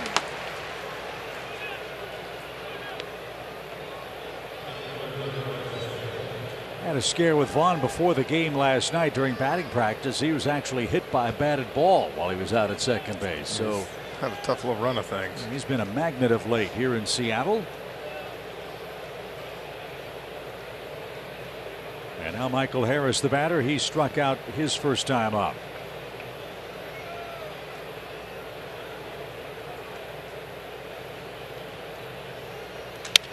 Broken bat, little pop, and Crawford's got that.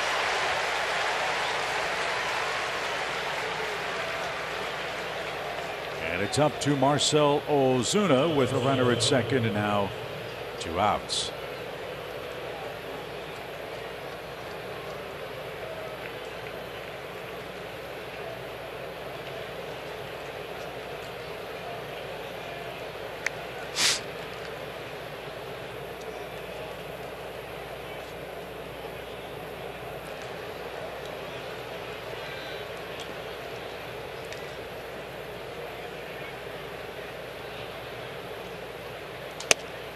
Just missed inside. One ball, no strikes.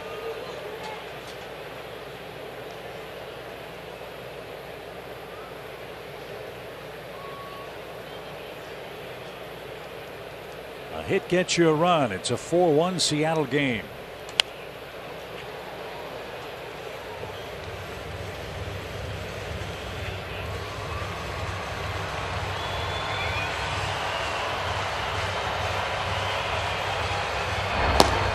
Tyler Matzek is getting ready. Yeah, a lot of switch hitters and left-handers in this lineup for Scott Servais and Seattle.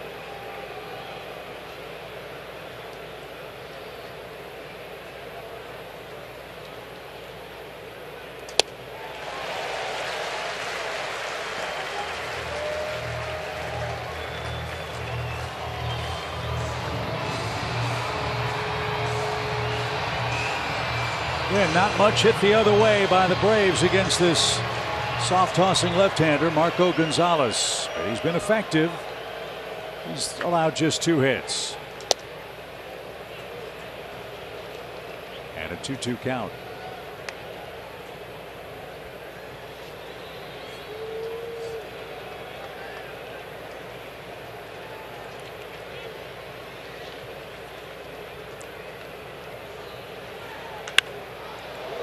That's hammered a long way foul. And we'll try again with Marcel. Two balls, two strikes. Wind picking up just a bit, blowing toward the bullpens here on a comfortable 73 degree day.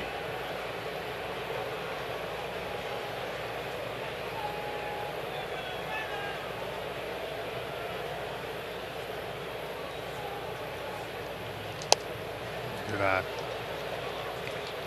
If you reach, you bring the tying run to the plate.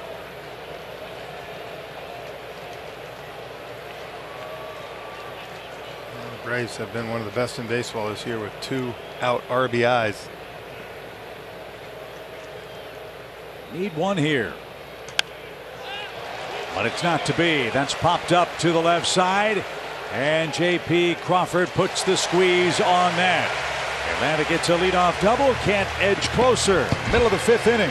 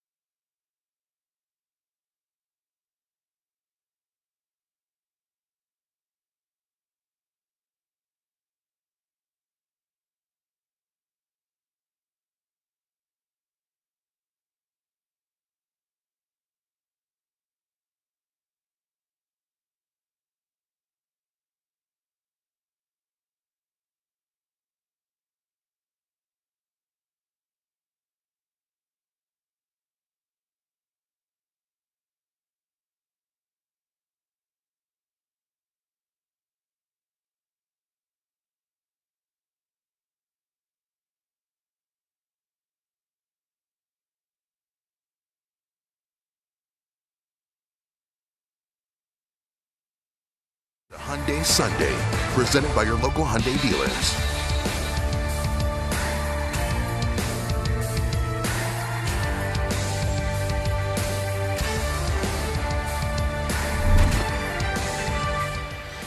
That was a good looking ride on Hyundai Sunday, the Yeah. Santa Cruz.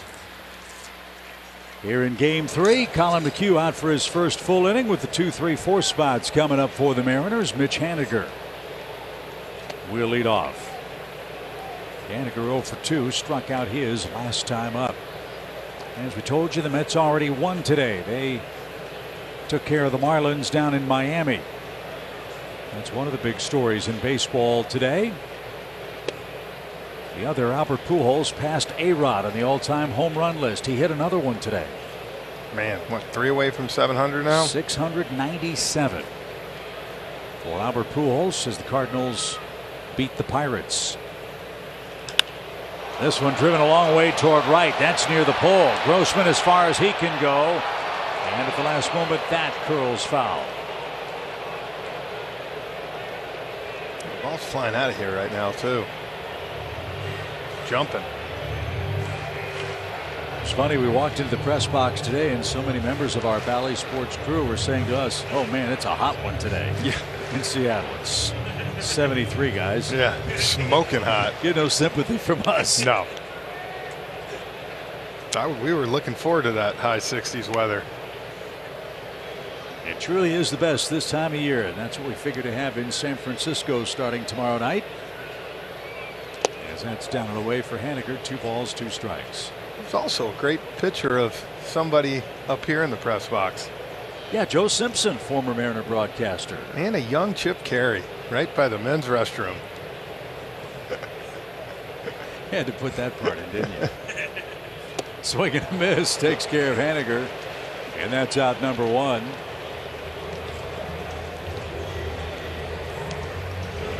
It's a good pick, though. Thanks. Yeah, it's uh, it's always fun to come back here. Hard to believe that was almost 30 years ago. A good pitch. He struck out the only two hitters he's faced so far today.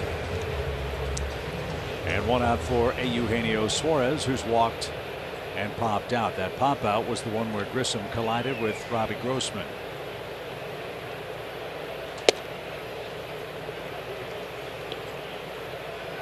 Well, are the Mariners going to make the playoffs? They've got a great shot. They've got a five game lead, I believe, over the fourth place team in the wild card chase. I think they got what the three. This is a big, tough homestand. But they had the White Sox, the Braves, and the Padres. Padres and after that, though, they got one of the easier schedules I think left in all of baseball. Out of the way, ball two. Well, they have put on a great show this weekend. Beautiful ballpark, two good teams. Seattle will be the host for the All Star game next year. As that one's cut out and missed, two balls, two strikes. Boy, Collin's got that pitch working Yep. right now. Collin's been a great addition, man. He's a great dude, good pitcher, knows his role, and throws strikes. It's funny because remember, first two or three appearances this year as a Brave were not awesome.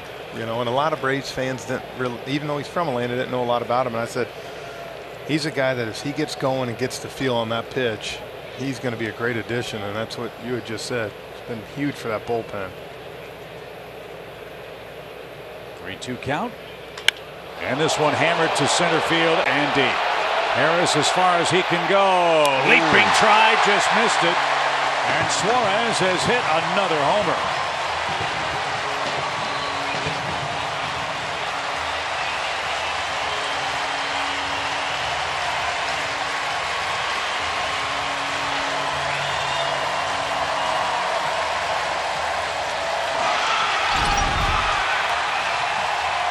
That one a little bit on the outside. Suarez so strong. And look at this by Money Mike. He almost made this play, Chip. Climbed the wall. Suarez now fourth home run in the last four games. Two of them to straightaway center. Yep. And so Suarez now with 29 home runs on the year. has extended the Seattle lead. It's 5 to 1.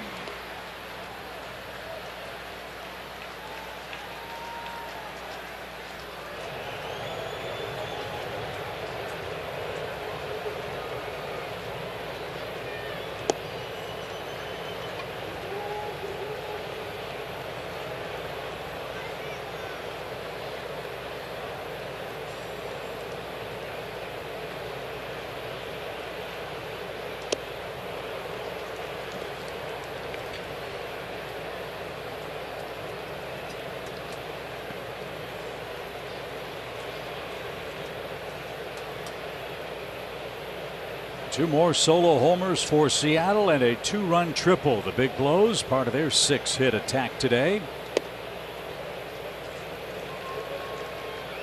And now it's two and two.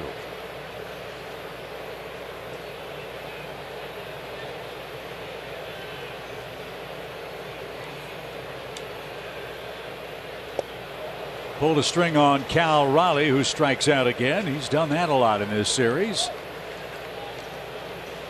Two men are out for Carlos Santana, but first, a quick word from our friends at Delta.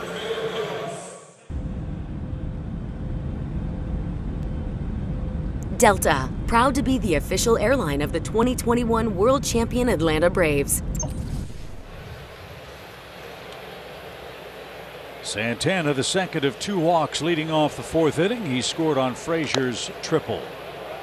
And now he's got a hurt foot.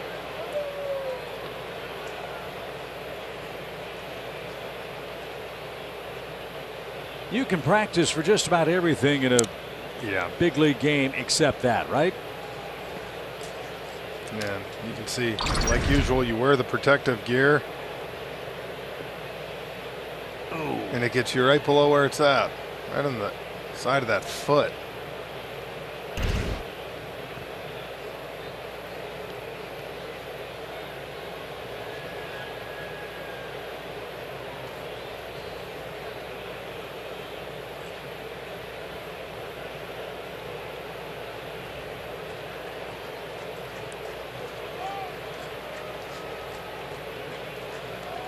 Scott Servais, a former catcher, says, Yeah, you think that hurts. Yeah.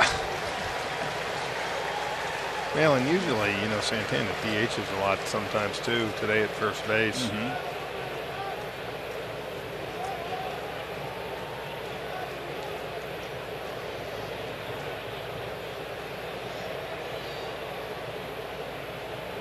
Julio Rodriguez saying, I'm glad that didn't happen to me. Yes. 0-1 pitch, base is empty, two outs. Seattle's added a run here in the fifth. And a line drive right at Robbie, and he handles that sinker. And there is the third out of the inning. Eugenio Suarez, though, with homer number 29, extends the Seattle lead.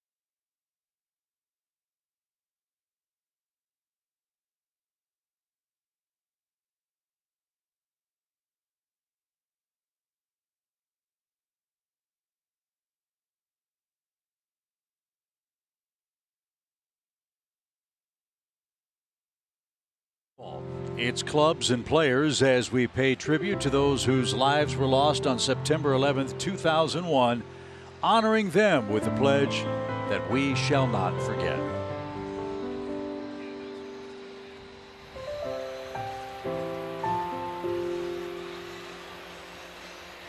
Hard to believe how our world changed 21 yeah. years ago today.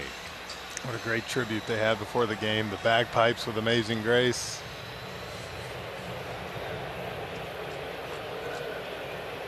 Tribute at Truist Park today as well, even with the Braves out of town. 300 local Atlanta firefighters are climbing 2,200 steps at Truist Park in the Memorial Stair climb, benefiting the Terry Farrell Firefighters Fund of Georgia. Terry was a firefighter who died assisting the New York City Fire Department. 2,200 steps at the ballpark, symbolizing 110 flights of stairs that the Fire Department of New York took to rescue men and women in the World Trade Center attacks.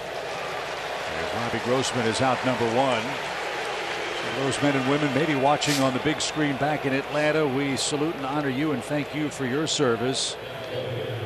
As we continue our road trip in Seattle with game three with the Mariners in front by a 5-1 score.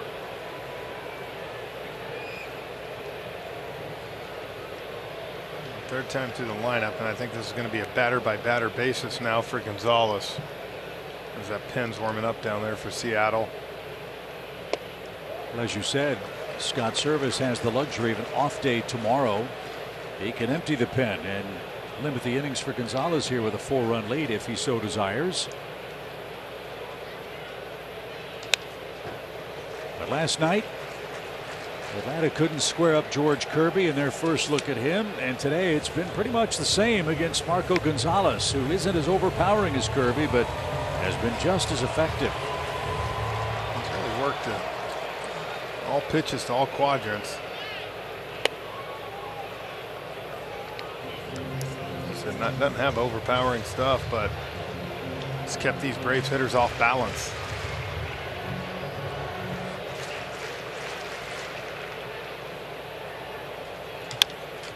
Old foul at third. We'll try again. A ball and two strikes. Braves hardly have played the Mariners in interleague play. That all changes. Not just the rule book next year, but the schedule. We'll see Seattle every year from this point forward. Next season, they'll come to Atlanta in mid-May. As that's low, two balls, two strike. I like that rule as much as any. Want to market the game's great stars and have guys like Acuna and Julio Rodriguez do their thing? Well, get them on TV and get them in the home parks every year, not yeah. every three or six. And that straightened up Acuna with ball three, full count. More than anything, too, you get a much more balanced schedule now. I think that's the other key to that. Yeah, fairer. Yeah.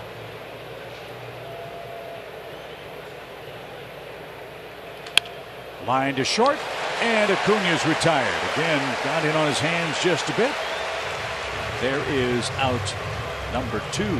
Braves are back home after our series with the Giants. Just a few home games are left for the Braves, and we hope you'll join us on September 20th where the first 15,000 fans get the Ron Washington Windmill Wash bobblehead doll. And yes, that arm actually spins around for the Braves' great third base coach. This is a terrific gift and souvenir. And get your tickets at braves.com slash promos September 20th when the Braves host the Nationals. Dansby to left. And that'll take care of the Braves in order in the sixth inning. Marco Gonzalez and the M's have a four run lead.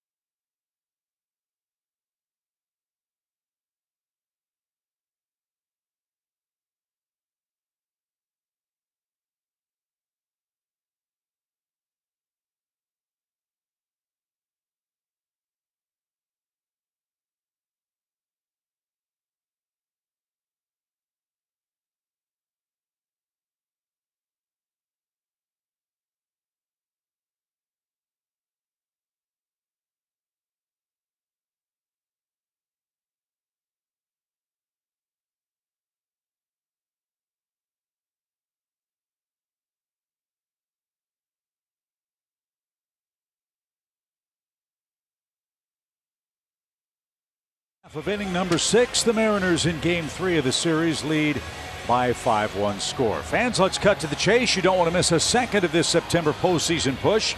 Be here as the Braves pursue their fifth straight division title with several crucial NL East matchups coming up. Cut to the chase on Bally Sports South and Bally Sports Southeast is presented by Texas Pete Sauce, like you mean it.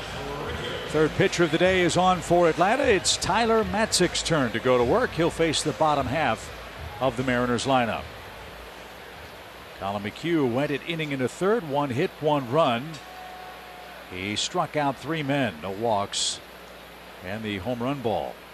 That was to Eugenio Suarez.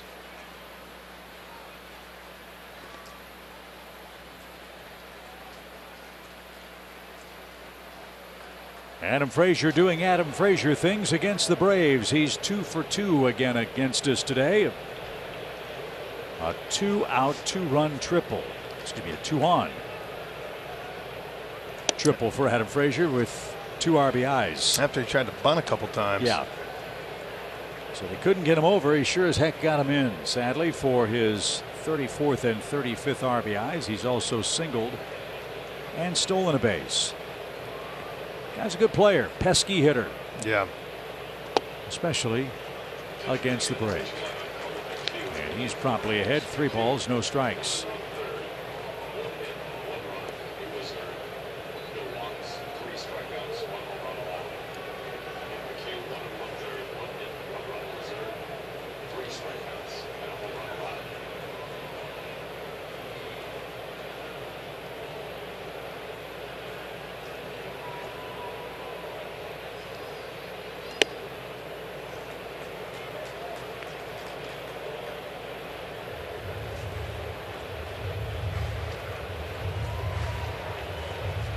Tyler last pitched four days ago out in Oakland. First time he'd given up a run in a long time for the Braves. And now he's battled back to fill up the count for the Seattle second baseman.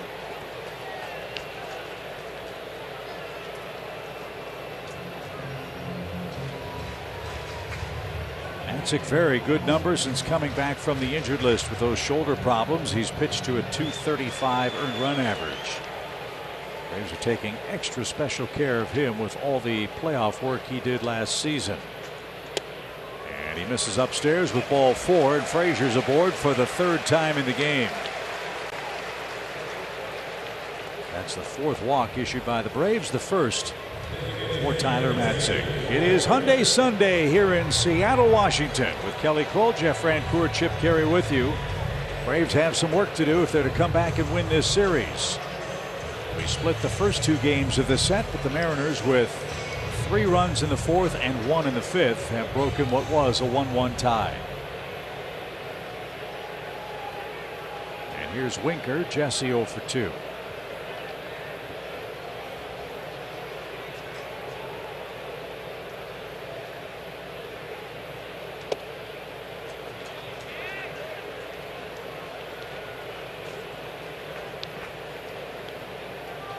We talk about a big sports weekend in Seattle. You've got Yeah. the world champions making their lone visit to face the Mariners. And the Seahawks play tomorrow night. With Russell Wilson coming back to town. Popped up. Olson and Contreras. And Matt calls off the Braves catcher. And there is out number one. Oh, good job by Matt. That's a tough play. That ball was hit really high, and it was starting to kind of slice back towards the field.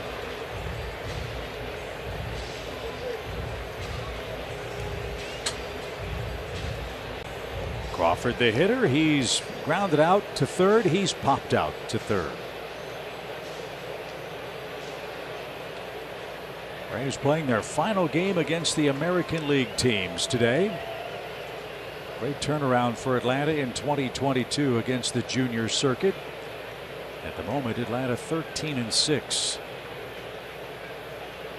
against American League clubs in the dirt. One ball, no strikes.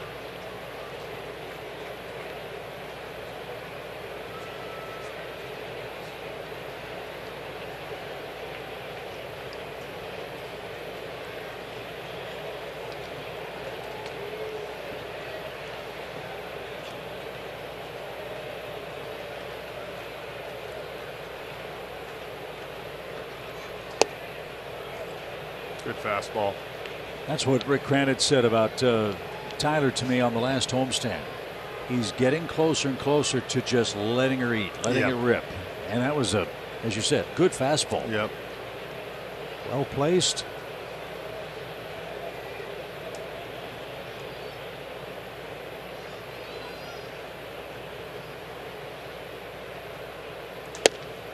And another one, 94 miles an hour. Nothing wrong with that.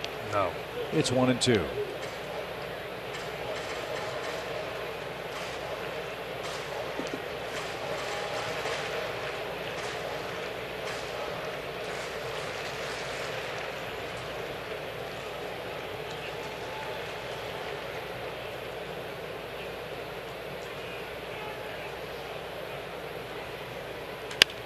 Line drive the other way with two strikes.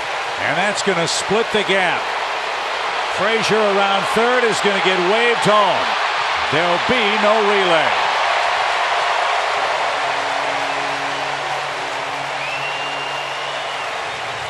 Boy, what a piece of hitting after two good fastballs. Throws him a slider, and you can see how quick this outfield is to grass. We saw that last night. Julio Rodriguez hit that ball to right center last night, and it took off. And right here, we can see Crawford, good piece of hitting. But watch this thing hit the grass, and it just goes. Another time where Michael Harris probably thought he could cut that ball off and had to go all the way on an angle to the wall just to get it. So we say it all the time when it happens to the Braves. If you give good teams extra outs and extra opportunities, more often than not, they're going to make you pay for them. That has certainly happened in today's game. Braves have walked four Seattle hitters, three of them have scored, including Adam Frazier, who plates his second run of the game here in the sixth inning. Mariners six, Braves one. We're in the sixth inning.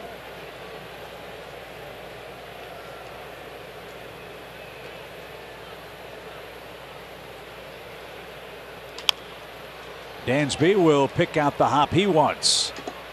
And Sam Haggerty is retired, two outs. And here comes Julio Rodriguez again.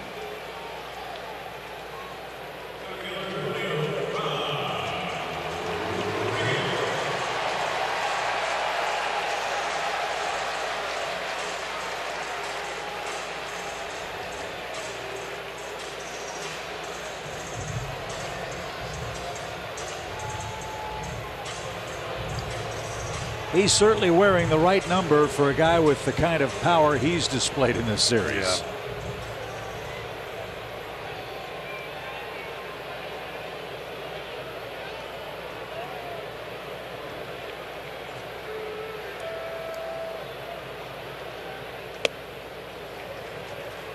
No one in Seattle history will ever wear number 11. That's for their great third baseman and designated hitter, Edgar Martinez. Nor will anyone ever wear number 24 for Ken Griffey Jr. Those are the two retired numbers for the Mariners. Of course, Jackie Robinson retired by everybody. And among position players, that is.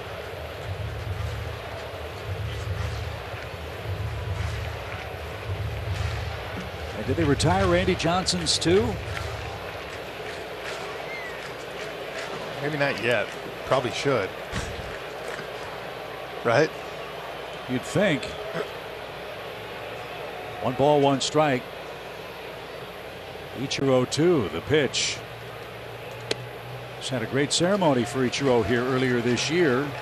He's been back quite a bit. Yeah, here. he was here in this series. Yeah. He's still shagging balls and throwing 90 miles an hour out in the outfield. The game's greats. He was part of that 116 win team for the Mariners, the last one they had that made postseason play. That one skips away from Contreras, and Crawford will move up on a ball in the dirt. It's a wild pitch.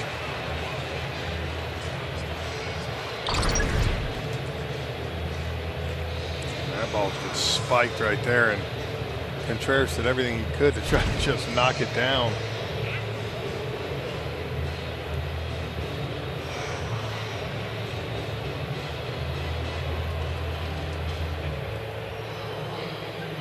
Another runner 90 feet away for Seattle, but there are two outs.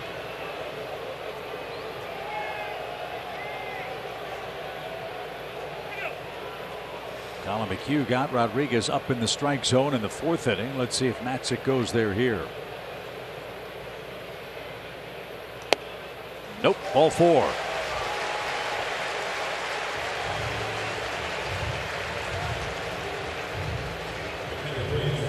So piling up the pitches.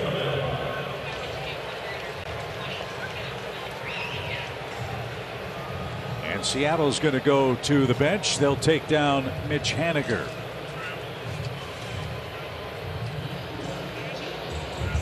Taylor Trammell is going to come on and face Matzek here.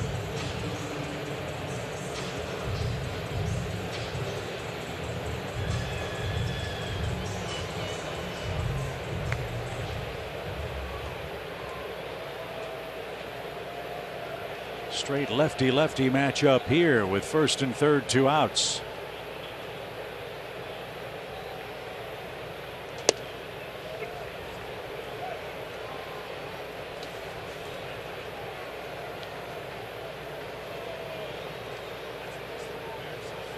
Taylor missed a lot of time with a hamstring problem about six weeks.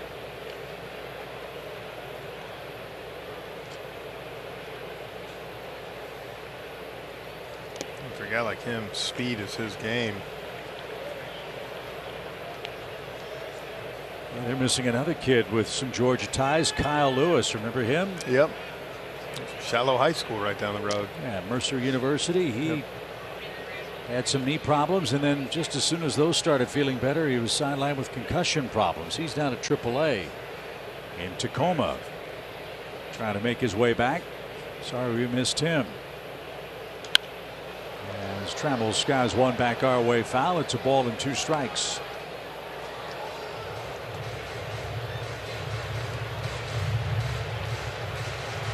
Well, the Mariners to this point have been as good as advertised. They're pitching a sub 2 ERA since late August. Their bullpen has been excellent.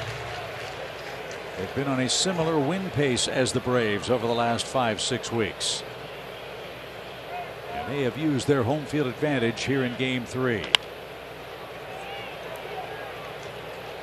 Like we said, largest crowd of the night last night. Another pack house today.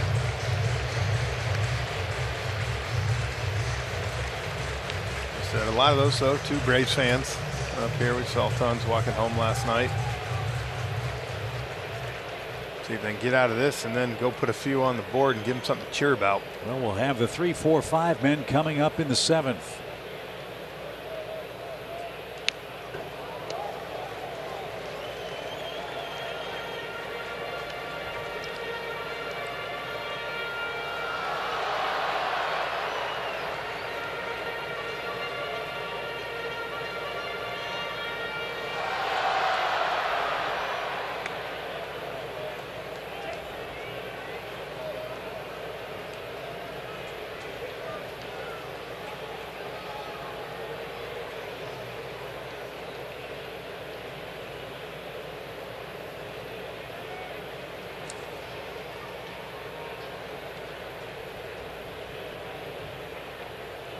The one two pitch. And he had Trammell off stride and Matt Olson in foul ground should handle that. And 25 pitches for Tyler Matzek. Seattle adds to their lead. It's 6 1 Mariners after six innings. USA Insurance committed to the military community.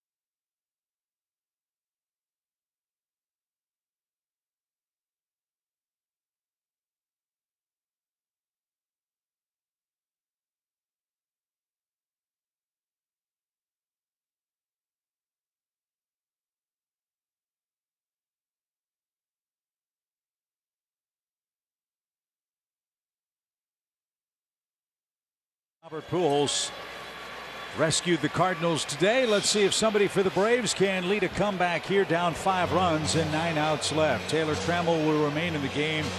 He will play right field. And the new pitcher is on for Seattle. And that new pitcher's name is Matt Brash. Another acquisition from the San Diego Padres by the Seattle organization. He made his debut this year earlier against the White Sox back in April. Tossed a scoreless seventh versus the White Sox last time out.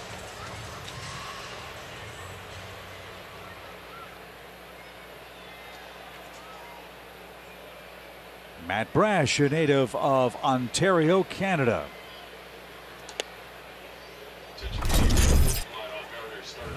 And let's take a look at our StatCast 3D powered by Google Cloud. Austin Riley, 36 of the season. Look at that, all the way deep into the Brewers bullpen. 3-0 fastball. At the time, tied it up. So 74 extra base hits for Austin Riley, 36 homers, now 90 runs batted in. Atlanta needs a big inning. They've got a run on two hits.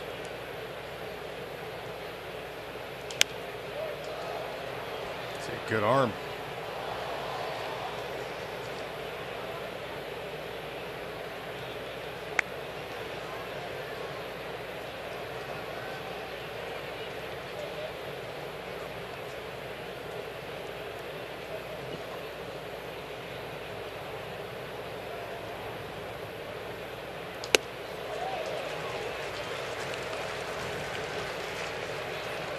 Back to back 99 mile an hour fastballs.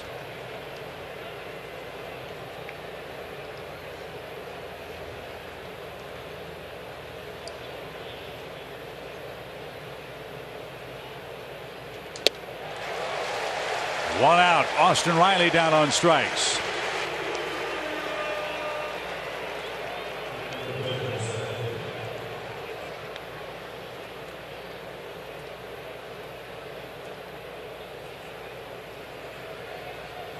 pretty impressive. 99 and then a 89 per hour slider. So one away from Matt Olson, who is 0 for 2. Marco Gonzalez, six innings of one run, two hit ball. He's in line for his 11th victory.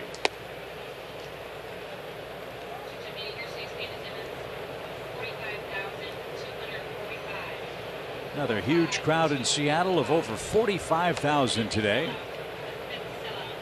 The fifth sellout of the season. 45,245 are here today.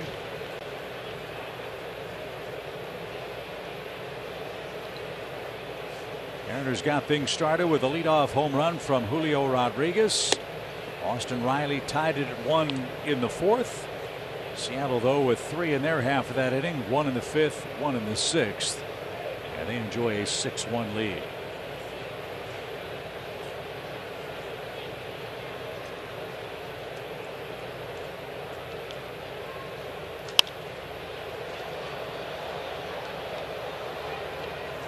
Two and two for the Braves first baseman.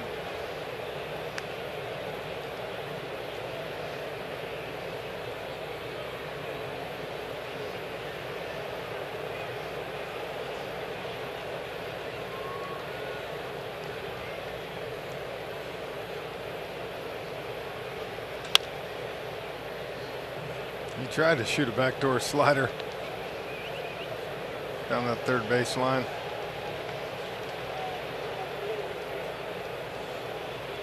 Right now, you got to get some runners on. A little pressure on them. Well, like the Braves, the Mariners very proud of their relief corps. Yeah. Not easy work coming back against these guys.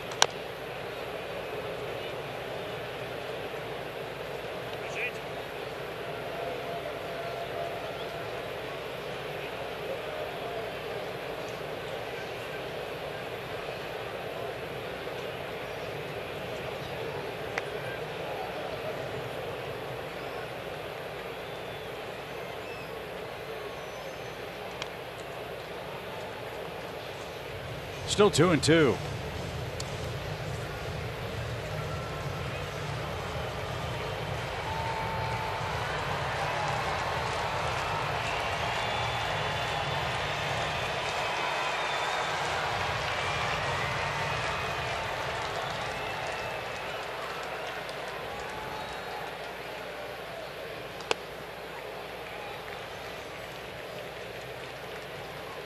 Full count.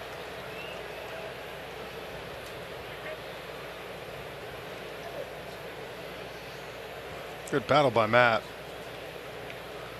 Shot off some tough sliders, took that fastball up. And a good at bat for Olson. That's been a very patient hitter for the Braves, and there's a start with one out. And William Contreras is the batter, but first a word from our friends at Zaxby's. Try Zaxby's chicken finger plate with tongue torch, Zax sauce, or any of our sauces. We've seen the Mariners take advantage of some walks that the Braves pitchers see now. If the Braves can flip it on them, pay them back. Yeah, that's the first walk they issued in the game, and that's really been, again, their calling card. Jeff, we mentioned it last night. Yeah.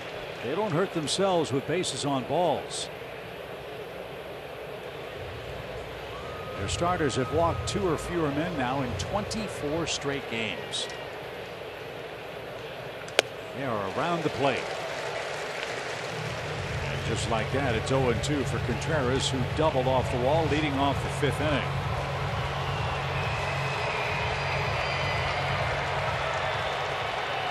Braves have a homer and a double. That's it.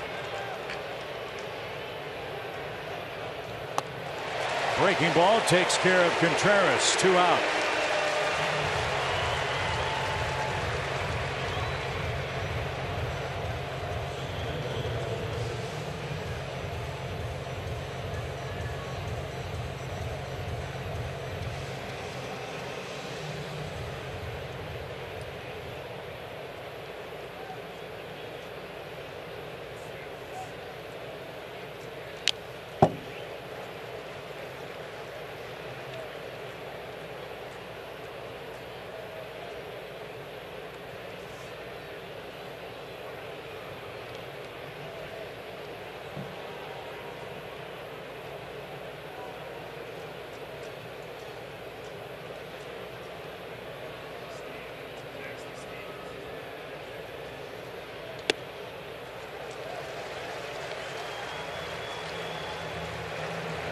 Is our Georgia Natural Gas impact player. As we said, he's had a great road trip, but he's had a super week. Need some of that magic here with two strikes and two outs.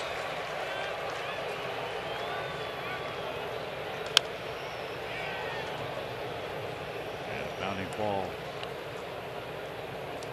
is rolled foul. It's 0 2.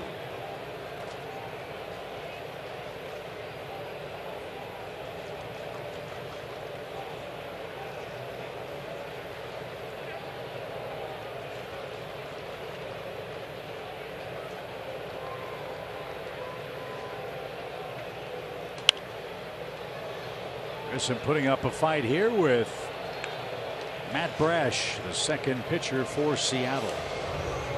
Good sign too, though. Even though he grounded out last time, seeing Grissom run down to Yeah. first base would look like no pain.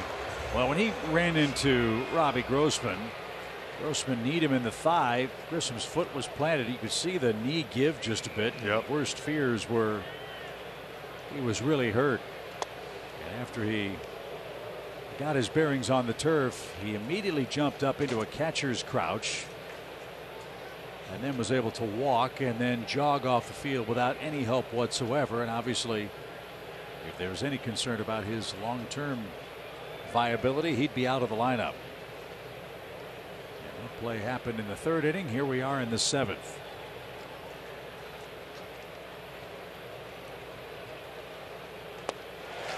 Brash strikes out the side. The Mariners are in front six to one. Here before a packed house, the fifth sellout of the year at T-Mobile Park. Atlanta wrapping up our three-game series with the Mariners. And as they do on their home Sundays, Seattle fans will be entertained with a stirring rendition of God Bless America. Today's guest singer is 10 year old Yolanda G, who looks as lovely as can be. She is ready to go on this cloudy Sunday in Seattle as the Braves and Mariners wrap up our three game series today.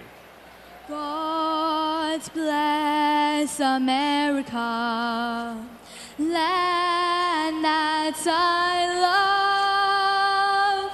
Stand beside her, hands guide her through the night with the light from above, from the mountains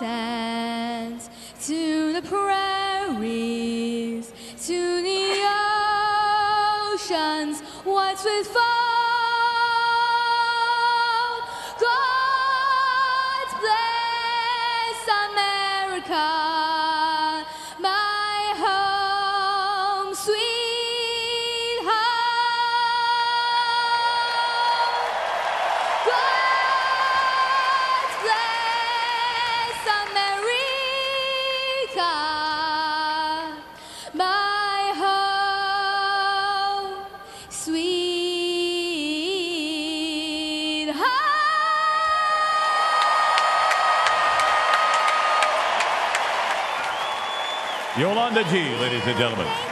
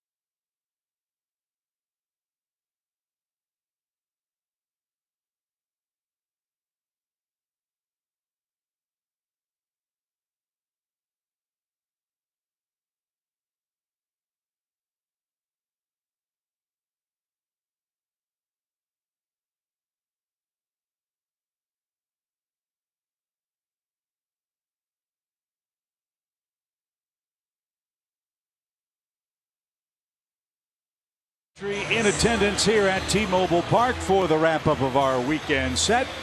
And as disappointing as the game is to this point, here's something that's encouraging to see, Jeff. Jackson Stephens finally back on a big league mound. I talked to him the other day during the off day and saying how excited he was to get back after taking that one to the head in St. Louis, which was amazing still the fact that he walked off the mound. Hopefully for him, he can come out here and have a clean inning, maybe even two, and help us save this bullpen. Eugenio Suarez greets him first, and Stephens delivers a strike. I know this. We helped him in his recovery with that giant chili dog he consumed in the bleacher game at the ballpark in Atlanta. If that can't get you back, I don't know what can. But it truly was a scary moment. He was telling us uh, after the game the other day during the day off, he was dazed in St. Louis. And understandably so. And up and away for Suarez. Yeah, Haniger went out with a lower back injury. We were wondering between because they brought the lefty on to Yeah. face Matzik.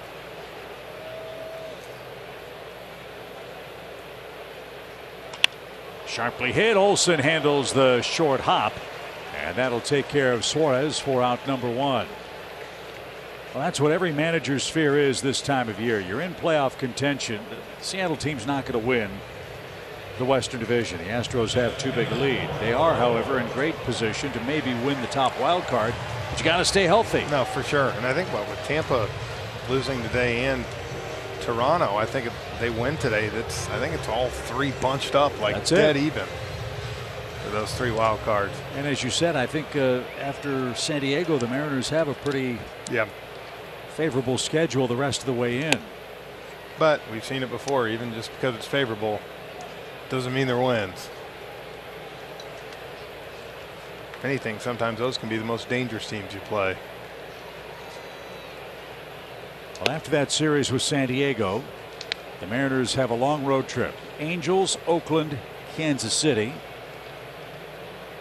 They finish with Texas, Oakland, and the Tigers.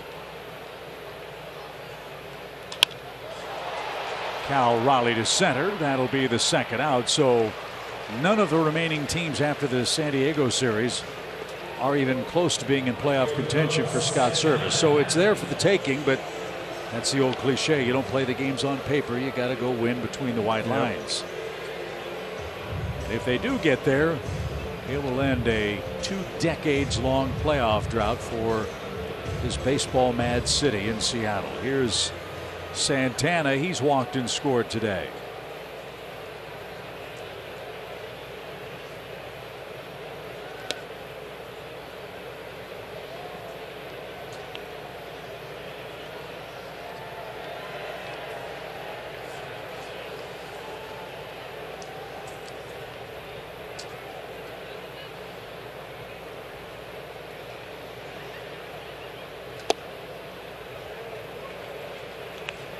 Jackson looks good. Good fastball, 95.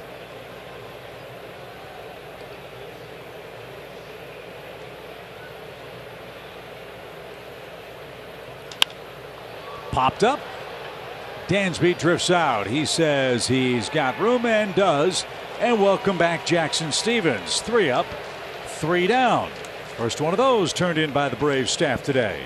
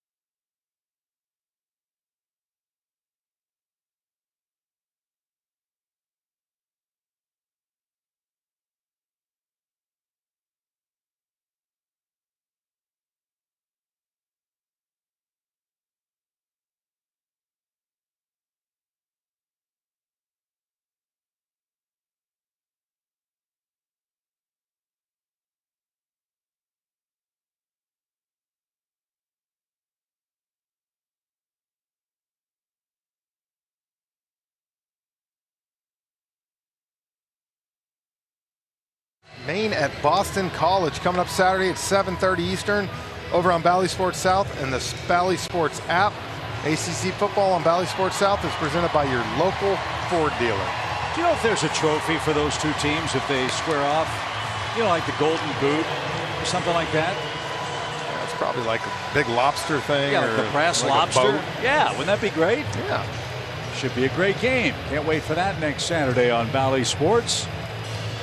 As the Braves try to mount a comeback with two innings left here in Seattle. This is Erik Swanson. We saw Swanson in the eighth inning last night. He was perfect. Matt Brash struck out three hitters of the four he faced in the seventh inning.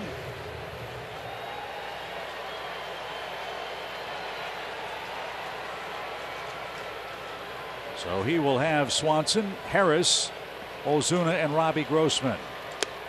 And ball one. misses upstairs. Well, you look at the way this Seattle team is put together, and we're only talking about them because we see them so infrequently. I think they've got a good shot to advance into the AL playoffs, win a series, maybe two or more. There's a shot hit to right field by Michael Harris. That's going to leave the park. So there's a start. Michael Harris has his 17th home run and his second of the series. Two solo homers for the Braves today. Yeah, Money Mike had to see if Rodriguez was going to hit one. I had to keep pace. He pulls his hands in this one beautifully and lines it 106 off the bat right into the right field seats. For the best coverage in the game, that is your T-Mobile coverage cam. Michael had that one covered beautifully. Yep. So we got one of them back. It's six to two. Nobody on or out.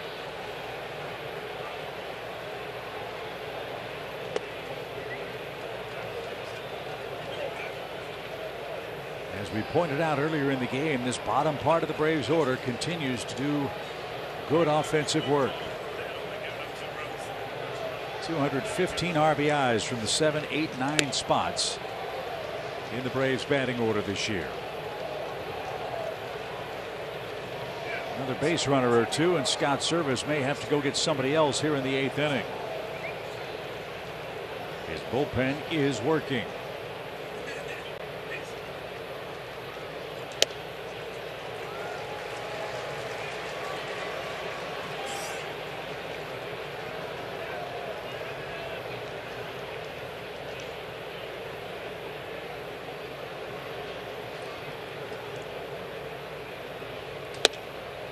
Center cut. It's two and two.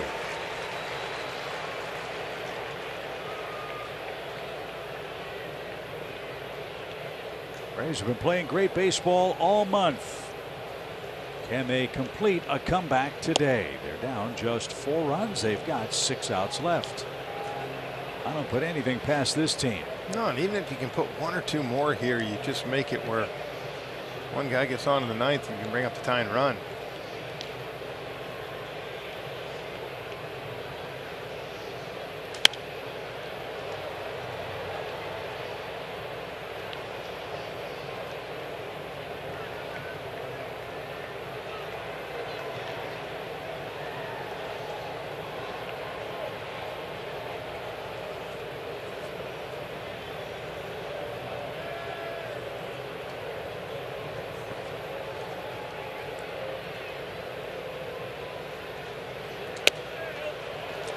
Start. Homer and a walk. Here we go.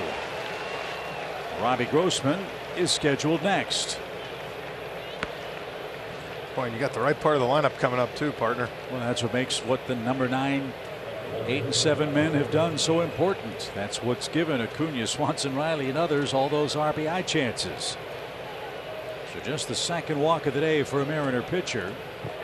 And it brings up Robbie, who has struck out and grounded out. Keep the line moving here.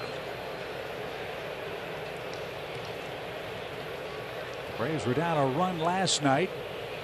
Couldn't seal the deal. Fell three to one. They're down four now. And have Acuna waiting on deck after the ninth place hitter Robbie Grossman bats here in the eighth.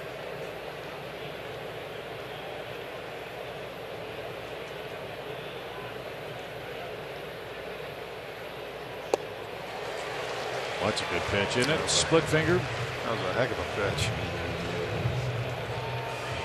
One moment it's there, and next the moment comes the ball just parachutes into the dirt.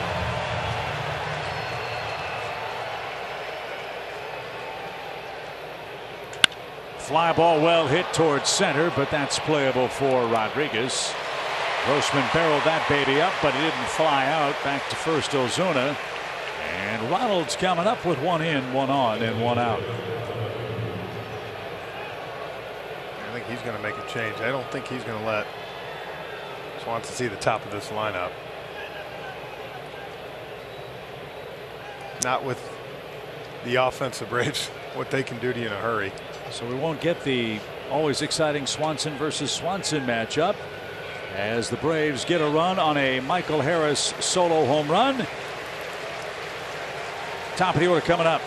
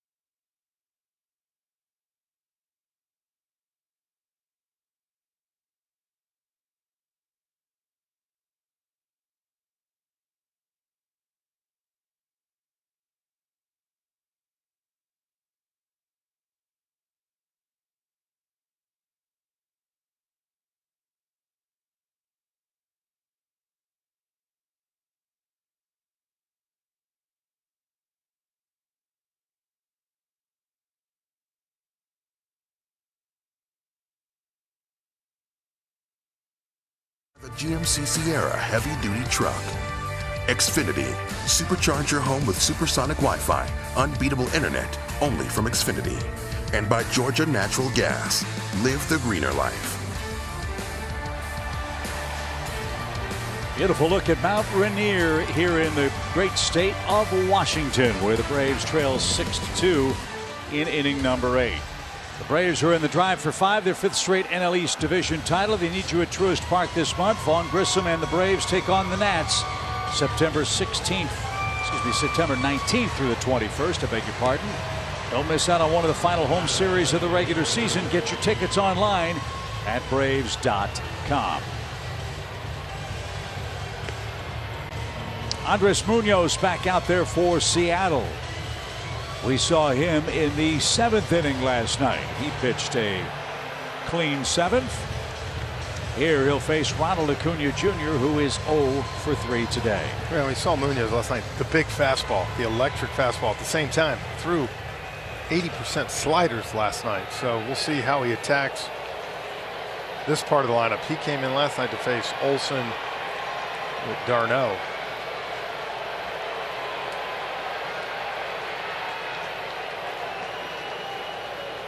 Munoz toeing the third base side of the pitching plate.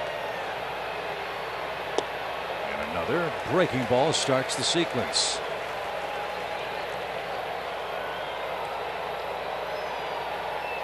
Ronald has a ton of room on the right side of the diamond where Santana plays in front of Marcell Ozuna. Frazier close to the second base bag for Seattle. And this one hammered toward the gap in right center field, but Trammell is there. He'll make the catch. And back to first is Marcell. Two men are out.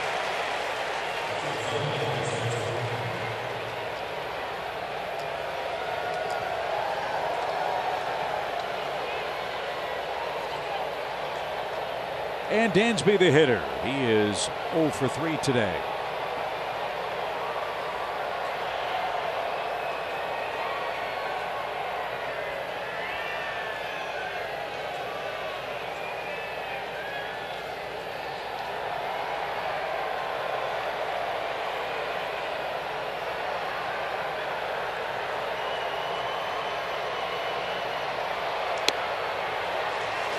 There's the triple digit gas.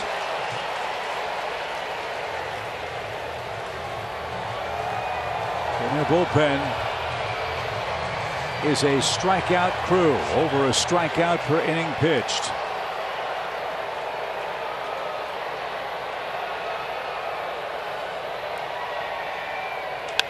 Slow roller toward Crawford at short.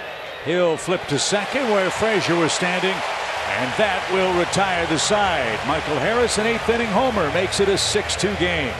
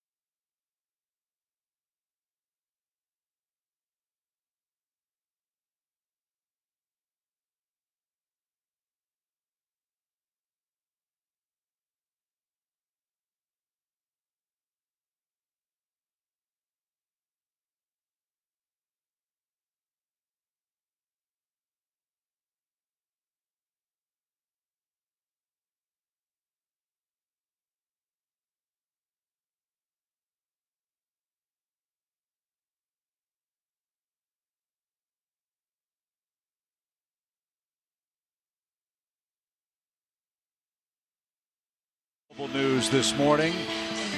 That is Anthony Varvaro. You might recall Anthony pitched for the Braves in 2011 to 2014. He retired from the major leagues in 2016 to become a Port Authority officer in New York. He was on his way to the World Trade Center ceremonies today, where he was involved in a wrong way collision with a reportedly intoxicated driver, and Anthony lost his life today.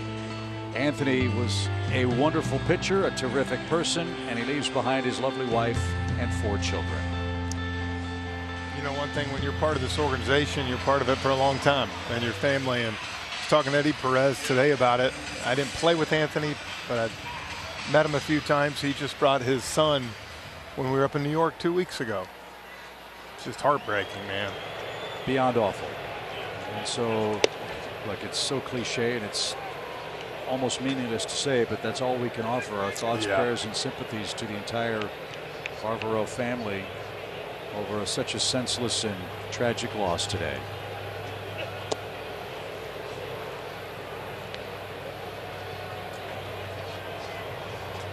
Adam Frazier is up for Seattle in the eighth inning.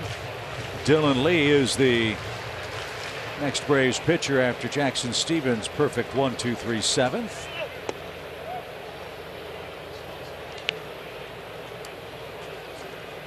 Braves have three outs left with the heart of the order coming up in the ninth. They trail it six to two.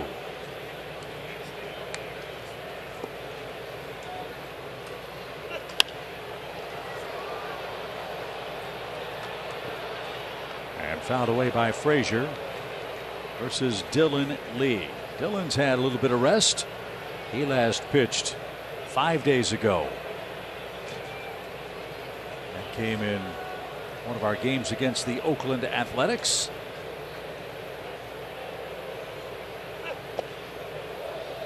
And no swing evens up the count.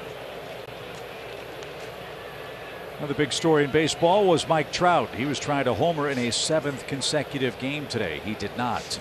Oh, man. Send him back to the minors. Yeah. So Ken Griffey, Dale Long, and Don Mattingly's record of eight games in a row with a homer will stay intact as this one skied towards center field. And Adam Frazier is retired for out number one. Before Jesse Winker comes up, here's a quick word from Truist. Tim always offered the best advice. Hit it nice and firm.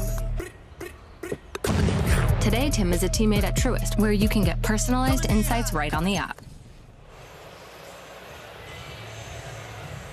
Winker 0 for 3 today.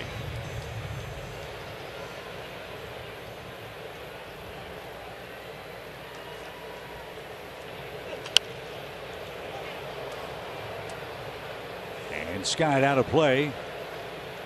Nothing in one. Six runs, seven hits for Seattle. They've committed the game's only error. That was by J.P. Crawford. Fact, that was on the first batter of the game.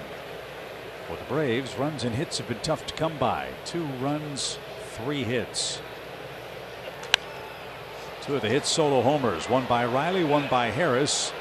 And now William Contreras will put the squeeze on that, and Winker has an offer.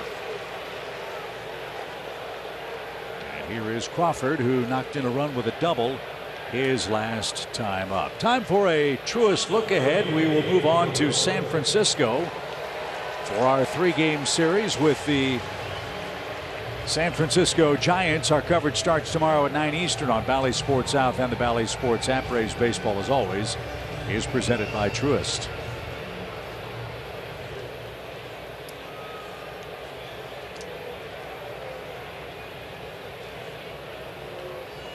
Two night games, then a day game, then the flight back to Atlanta. Then we open up a series at home on September the 16th. Phillies will be in for three. The Nationals are in for three. Then we go right back on the road to Philadelphia and Washington. The final three home games still looking to be hugely important with Yeah. the Mets. And then the Braves will wrap up regular season play. Three games on the road against the Marlins. And if you're holding tickets for the October 2nd game, please note that will now be a night game. So check your listings for where to catch that one. 0 2 pitch. And fouled back to the netting. Well, it's good to see Jackson Stephens have a good eighth, uh, seventh inning, and now Dylan Lee right now looks very sharp coming in.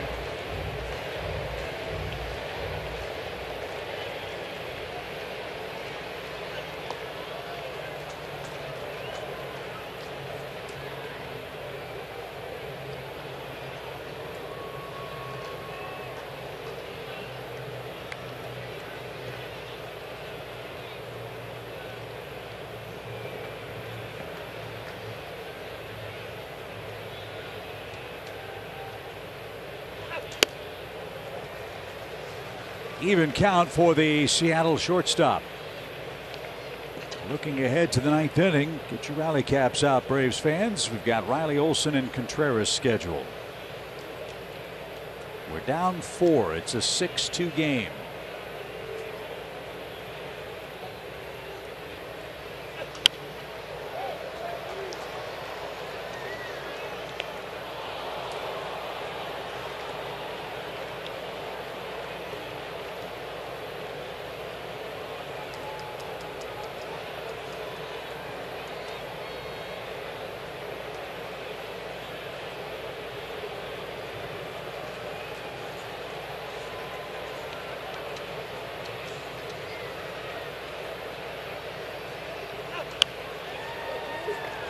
He's fighting him right now. Getting late, late swing. So for Dylan, that's why he's sticking with that fastball. You don't really want to speed up his bat. Throw that slider. It's got to be a good one down and away.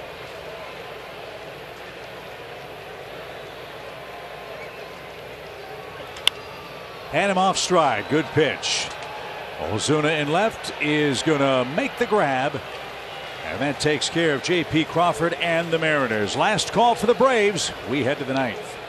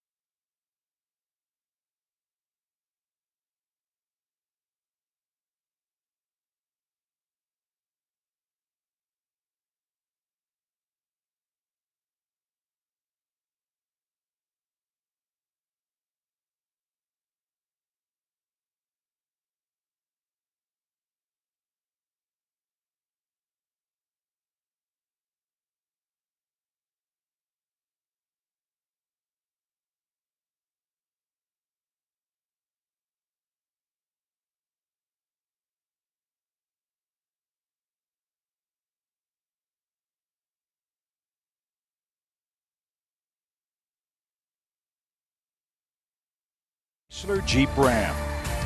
And by USAA. This Patriot Day game is brought to you by USAA Insurance, committed to the military community. Statue of Ken Griffey Jr. outside T-Mobile Park. And a little rain has begun to fall, and so the roof begins to close. As we get you set for what we face in San Francisco tomorrow, our Hyundai Inside the Numbers feature. There are your starting pitchers, Jeff, for a big game one of a series. Yeah, Spencer, last time he got the ball, we saw it the first inning was one really battered Brian Snitker Toltz away from being done and ended up throwing six beautiful innings as Snit on the plane. Probably could have gone the rest of the way. He was so comfortable, and Alex Cobb obviously getting the ball for the Giants in a big series there for three games in San Fran. So, for the first time in this series, we'll see the roof begin to close, and that's what makes this ballpark so unique, Jeff. As you mentioned, it is really just a, a canopy. It's not a fully enclosed facility No. here in Seattle. But when the inclement weather strikes, they can cover up the proceedings and keep on keeping on. as the Mariners go to their bullpen. This is Diego Castillo, his 51st game. And he'll face Austin Riley to get things going. Riley, with his 36th home run, is now up to 90 runs batted in.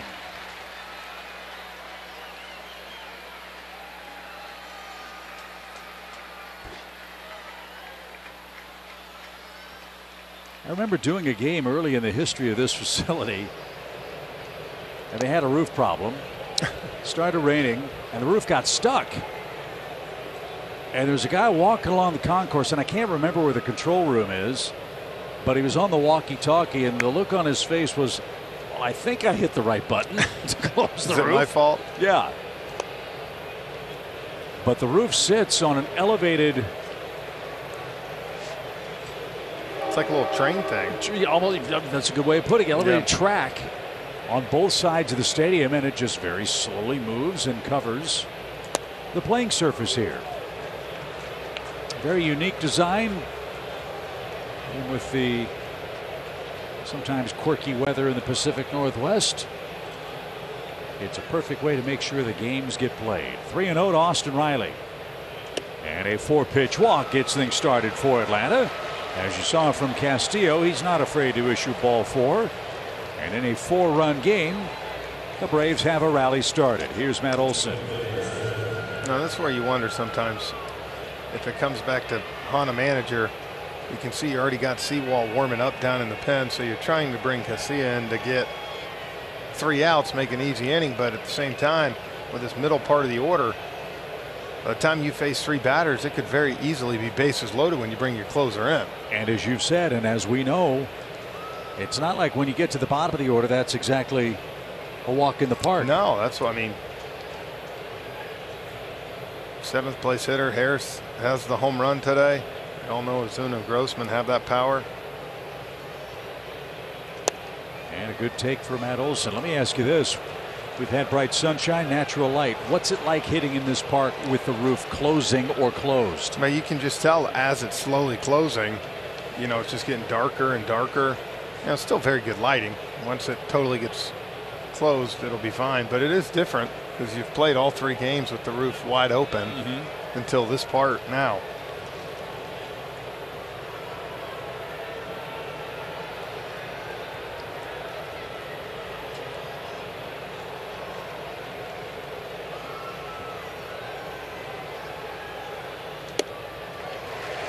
After a quick meeting, Castillo delivers a strike.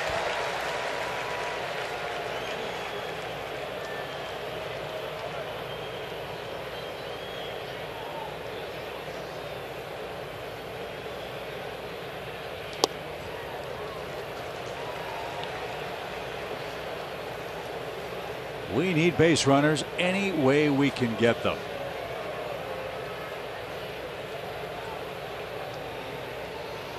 Three hits, three walks for Atlanta's batsman. And now Olson, who earned the first walk from any Mariner pitcher his last time up, is way ahead in the count here.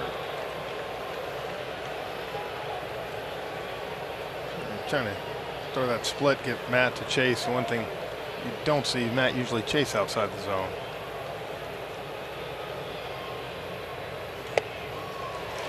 He was on his way to first base. Instead, it's a full count.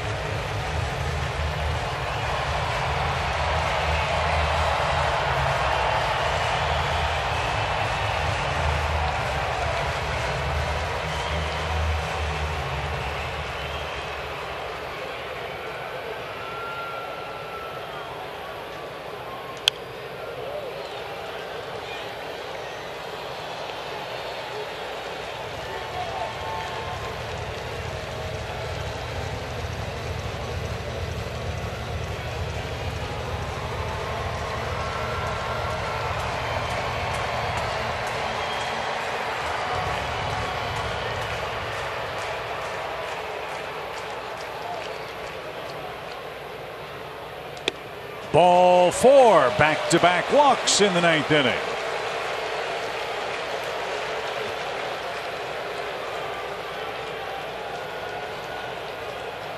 Good patience by Olson. Now William Contreras, who has one of the Braves' three hits. It was a double off the center field fence. And this is where the three batter minimum gets you. Usually now this is a safe situation for your closers with a tying run on deck, but he has to face Contreras at least.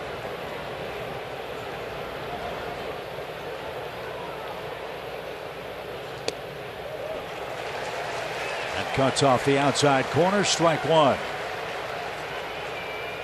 Braves trying to give a sellout crowd a finish in the ninth inning. We're down four. Two on, nobody out. Little number hit to the right side. It's a race to the first base bag, and Castillo wins it. The runners, though, advance to second and third. That cost the Braves one out.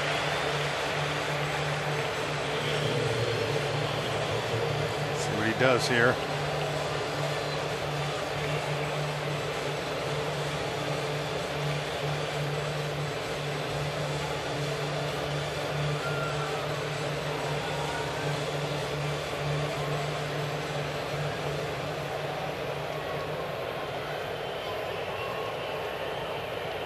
Castillo is six for six in saves. This is not a save situation. The lead was too big when he entered the inning. And you cannot pitch yourself into one of those save chances. Well, he's got plenty of experience with the Rays. Close down there.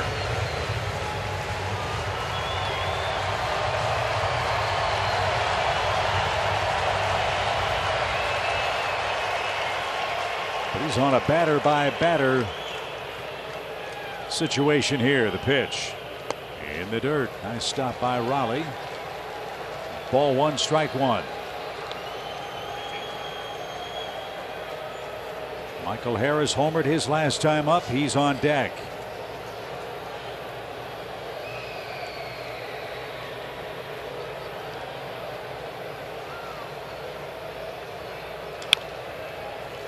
And fouled at third. It's one and two.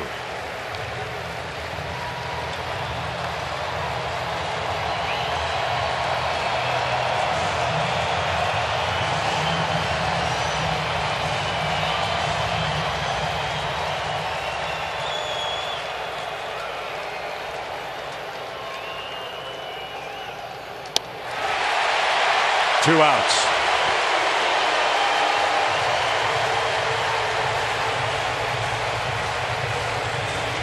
Strike zone got a little big there, and it's up to Michael to keep the game alive.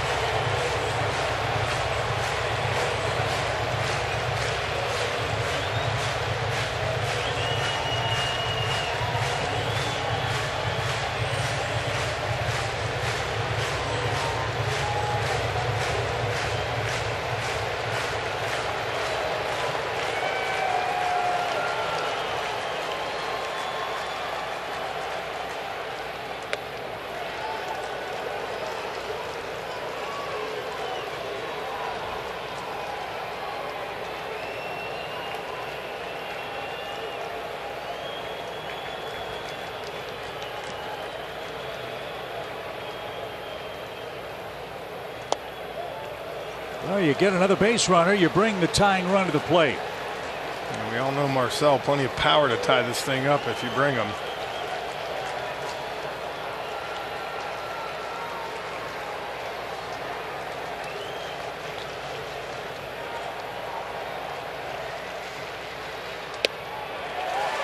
Oh.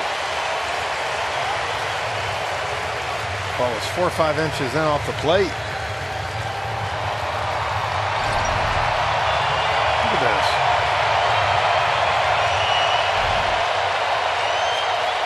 They've thrown that pitch a lot in this series.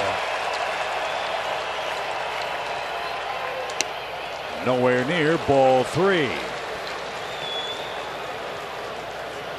They say the 27th out is the toughest one to get. Castillo's proving that to be true here in the ninth inning. Harris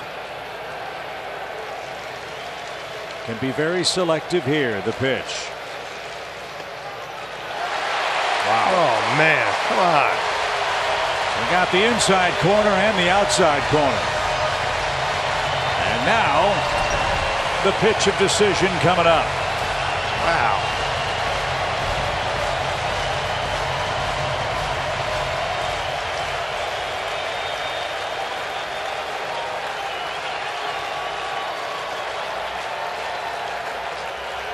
Swing and a drive.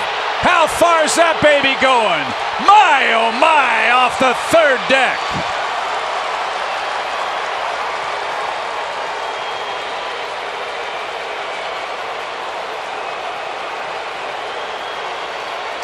A two-homer game for Harris.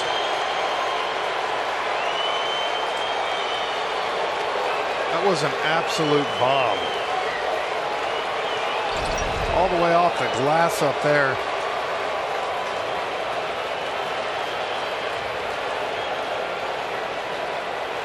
Just right over the middle of the plate. Watch where this ball went.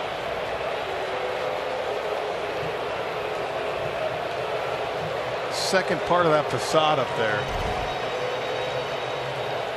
So Castillo walks the first two batters. He gets the next two outs. He went three and two to Harris, and Michael just made it a one-run game in the ninth.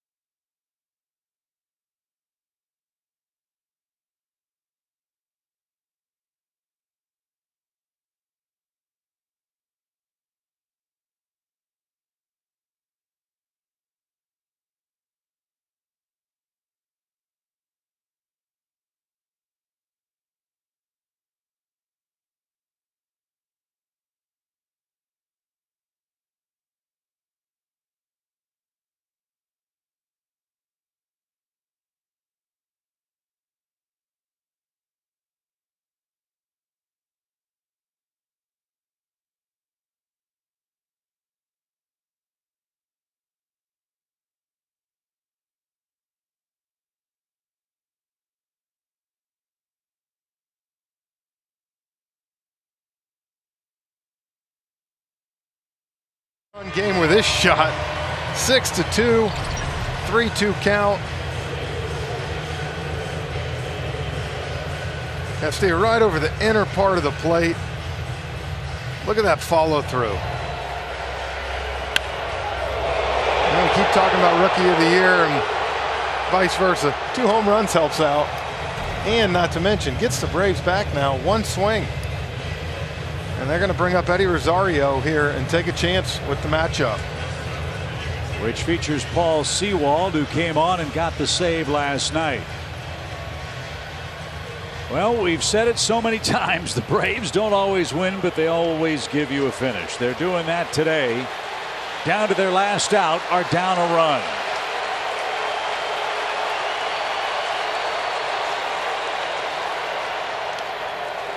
And you have to wonder with this game six to two if Sewald was even thinking about getting ready in this game. We'll see how sharp he is. He wasn't, but when that walk happened, he got up right away. You wonder if they were going to bring him in to face Harris or Grissom. They did not. Well, we've said it all series long. Playoff atmosphere. Yep. You've got it in the ninth.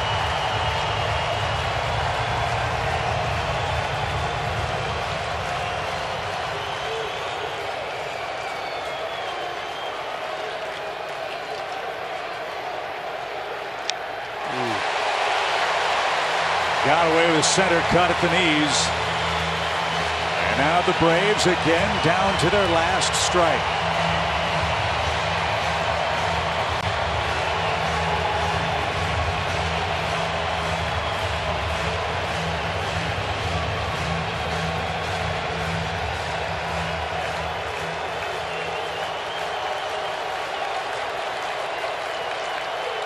Line drive, base hit.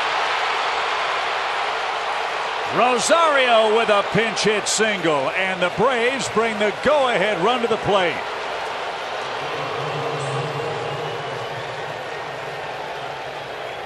Now they're giving themselves an opportunity.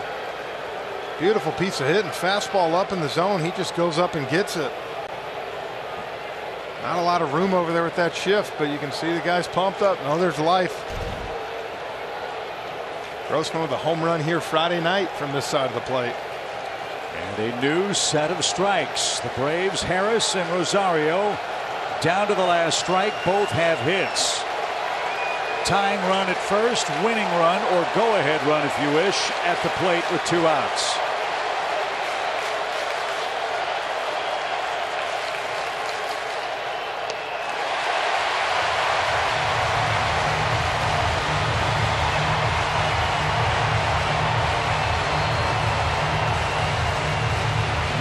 Head-to-head history between Robbie Grossman and Paul Sewald.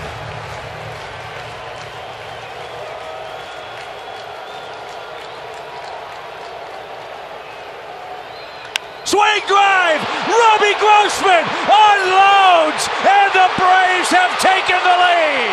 I don't believe it.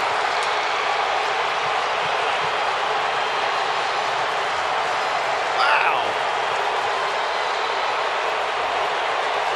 Look at Wash. He even gave him the right arm that time. The bad wing. This place can't believe it.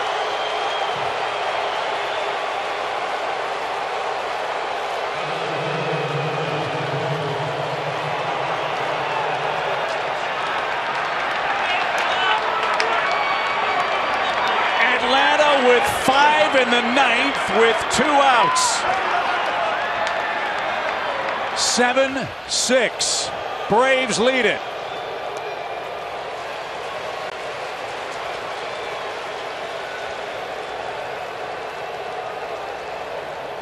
Wow. Wow.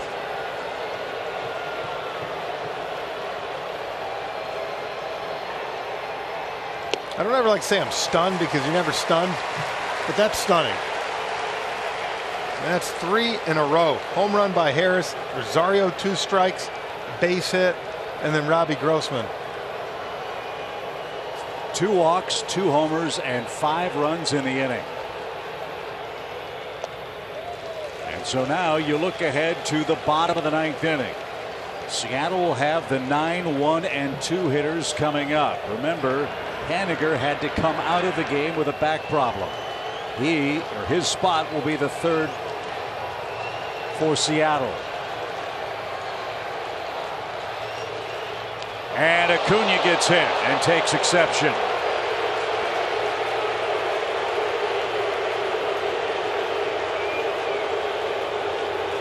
Ronald, he's not trying to hit you. He's just giving up the lead. He doesn't want any more base runners. And here's Grossman's turnaround homer. He threw the pitch, the same pitch before. That other one that he got in swing miss was on the inner half. This one, too much of the plate. And Grossman golfs this thing in the right center. Wow. Now the umpires are gathering here.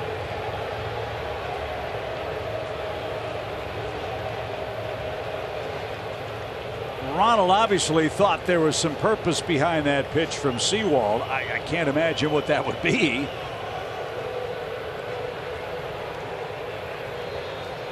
And I think they've come to that conclusion too.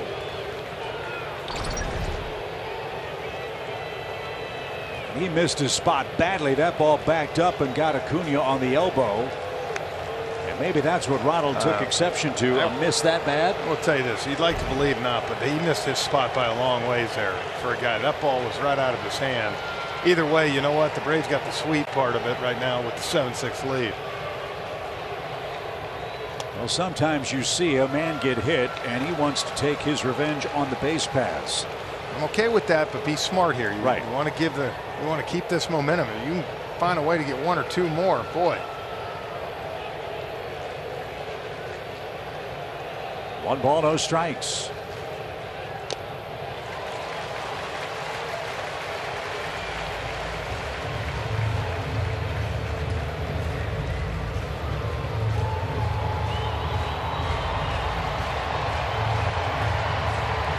Braves have scored five in the ninth. Kenley Jansen's getting ready for the bottom half of the inning. Another run or two would not hurt. One ball, one strike. Ronald's running. Dansby swinging a miss. The throw to second is going to be late.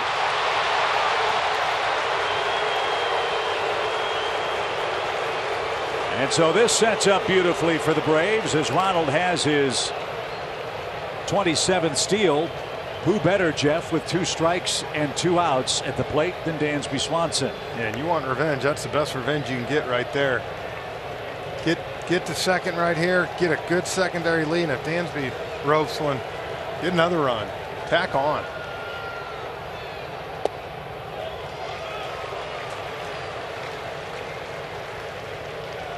Braves haven't seen much of Sewald, but they saw him last night, including Dansby Swanson, who struck out.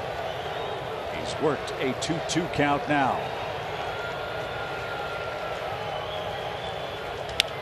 And this is where you talk about managers getting asked questions sometimes, decisions. I remember I said it before the inning even started. In a 6-2 game like that, you got a day off tomorrow. I know you, has had good numbers, and I know he's done good, but if Sewald's your closer, sometimes you wonder at this point in the season. The more that gate opens, the more opportunity you have to find a guy that's having a bad day. Yep. And Atlanta's taken advantage and try to add on to a 7-6 lead. The pitch. On the ground slowly toward Crawford. The throw to first is just in time.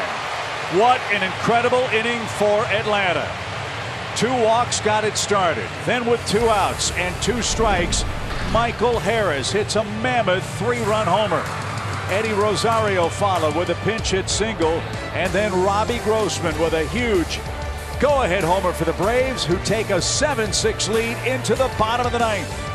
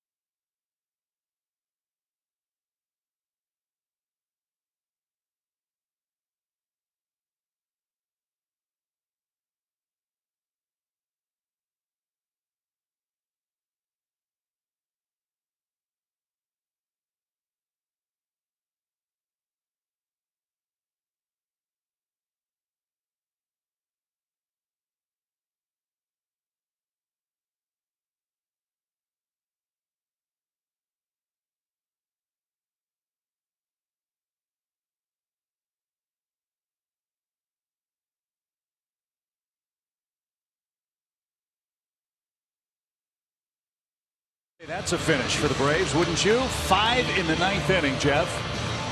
And that is an historic frame. It's been over two years since the Braves have scored that many runs in the ninth inning. This sellout crowd in Seattle is stunned as Michael Harris and Robbie Grossman hit ninth inning home runs. Now, Kenley Jansen will go to work. The Atlanta Relief Corps has retired seven straight hitters. Kenley has the nine, one, and two hitters coming up for the Mariners. Boy, you get three outs. You talk about stealing this game. You know, there's so many things we come back and look at, little things here and there that this team's done. Stephens, Dylan Lee keeping this game at 6-2 to give yourself a chance. And what a great work by Michael Harris. There it is again, the bottom of the lineup for the Atlanta Braves. Good call. We gave it to you earlier. What, 22 home runs, 86 RBIs from the nine-hole spot. There's Grossman again. Another two-run homer. Three homers for the Braves in their last two at-bats. And now Kenley Jansen, who has been excellent on this road trip. Two innings and four strikeouts. One other defensive change for Atlanta. We'll get to that after Sam Haggerty sees the first pitch from the Braves closer. And he tried to bunt. Guillermo Heredia has taken over in left field for Marcell Ozuna. Again, the Mariners will bunt. They need a base runner and then turn things over to the top of their order. Haggerty, an RBI single. What a game to wrap up this series.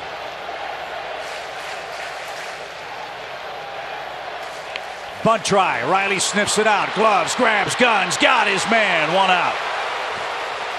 I'll tell you what, I don't mind that the first first pitch. You're trying to drop the surprise on him. Austin Riley was playing closer than the bag on the grass right there, and that ended up being an easy play for him. Even if a perfect bunt, it's tough. And now you got the other young center fielder coming up saying, ah, you hit two. Let me see what I can do. Well, he's hit one. Yep. And he's reached base three times. Julio Rodriguez.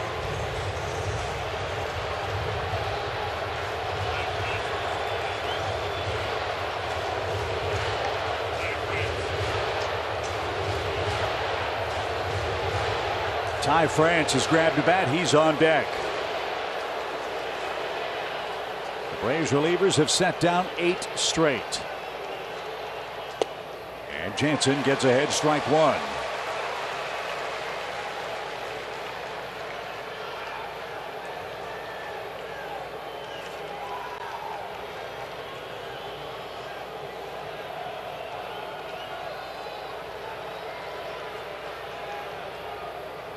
Riley hugging the line at third as Kenley just missed. This game was looking out of reach. The Braves struggling so mightily to muster any kind of an offensive attack through seven innings. Had scored one run and had two hits. They've taken a 7 6 lead and need two more outs. Swing, fly ball, well hit. Tie game.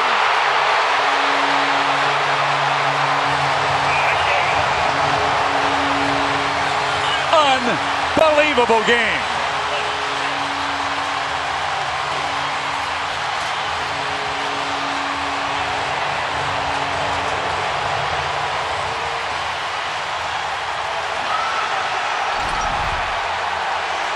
Location trying to go away, crept back over the middle of the plate. And Rodriguez lines this thing. Let me tell you what right now, I don't know how this game's going to end, Chip. Hopefully we're getting a Braves W still, but I think you can give both these guys the Rookie of the Year after today. Huh.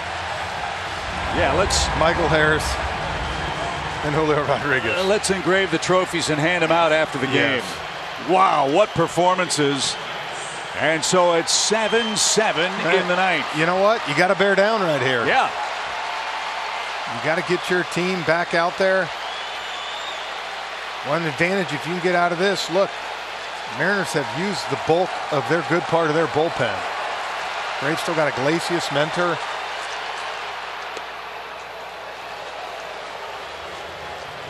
So Ty France, he's a big time power hitter.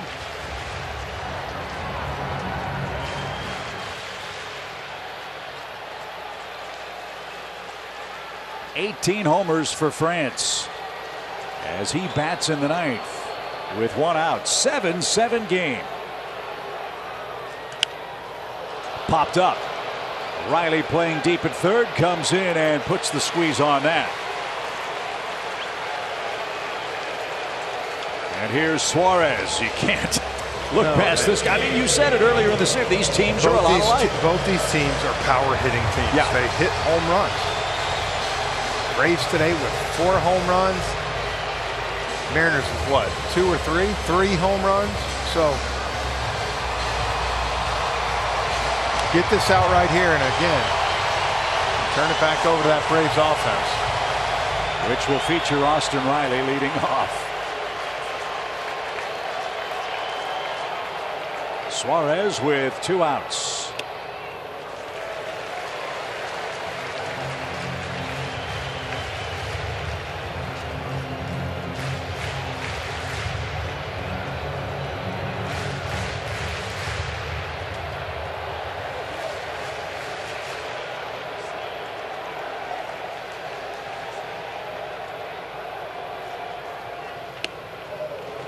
Belt. And Suarez couldn't pull the trigger.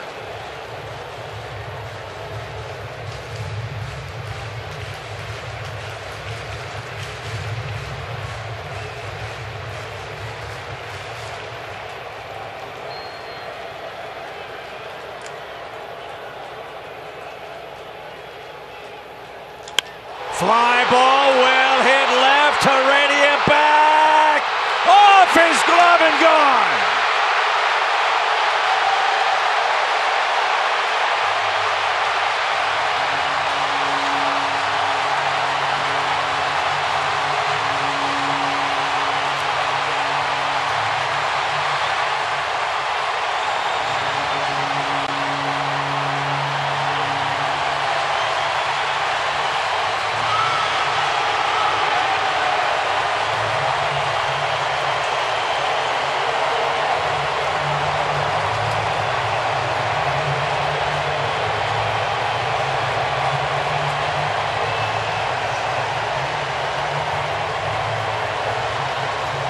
In a game, Jeff, that neither team deserved to lose, the Mariners,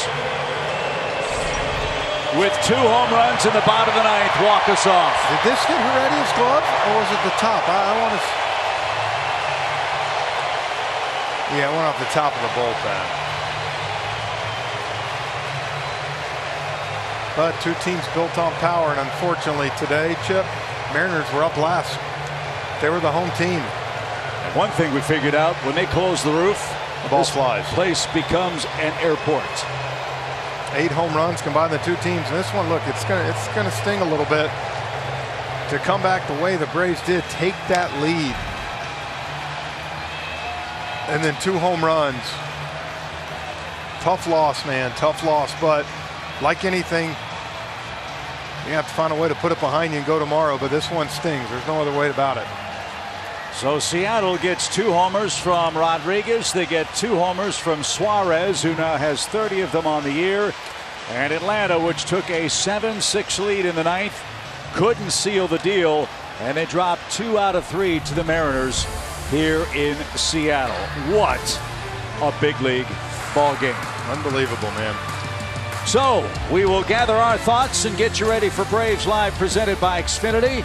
And Jeff and I will see you with the Braves in San Francisco as we kick off a three game series with the Giants. Spencer Strider and Alex Cobb will be the starting pitchers. Mariners win it 8 7 in the bottom of the ninth inning. We'll wrap it all up for you on Braves Live presented by Xfinity next. We thank you for joining us on this September 11th from Seattle.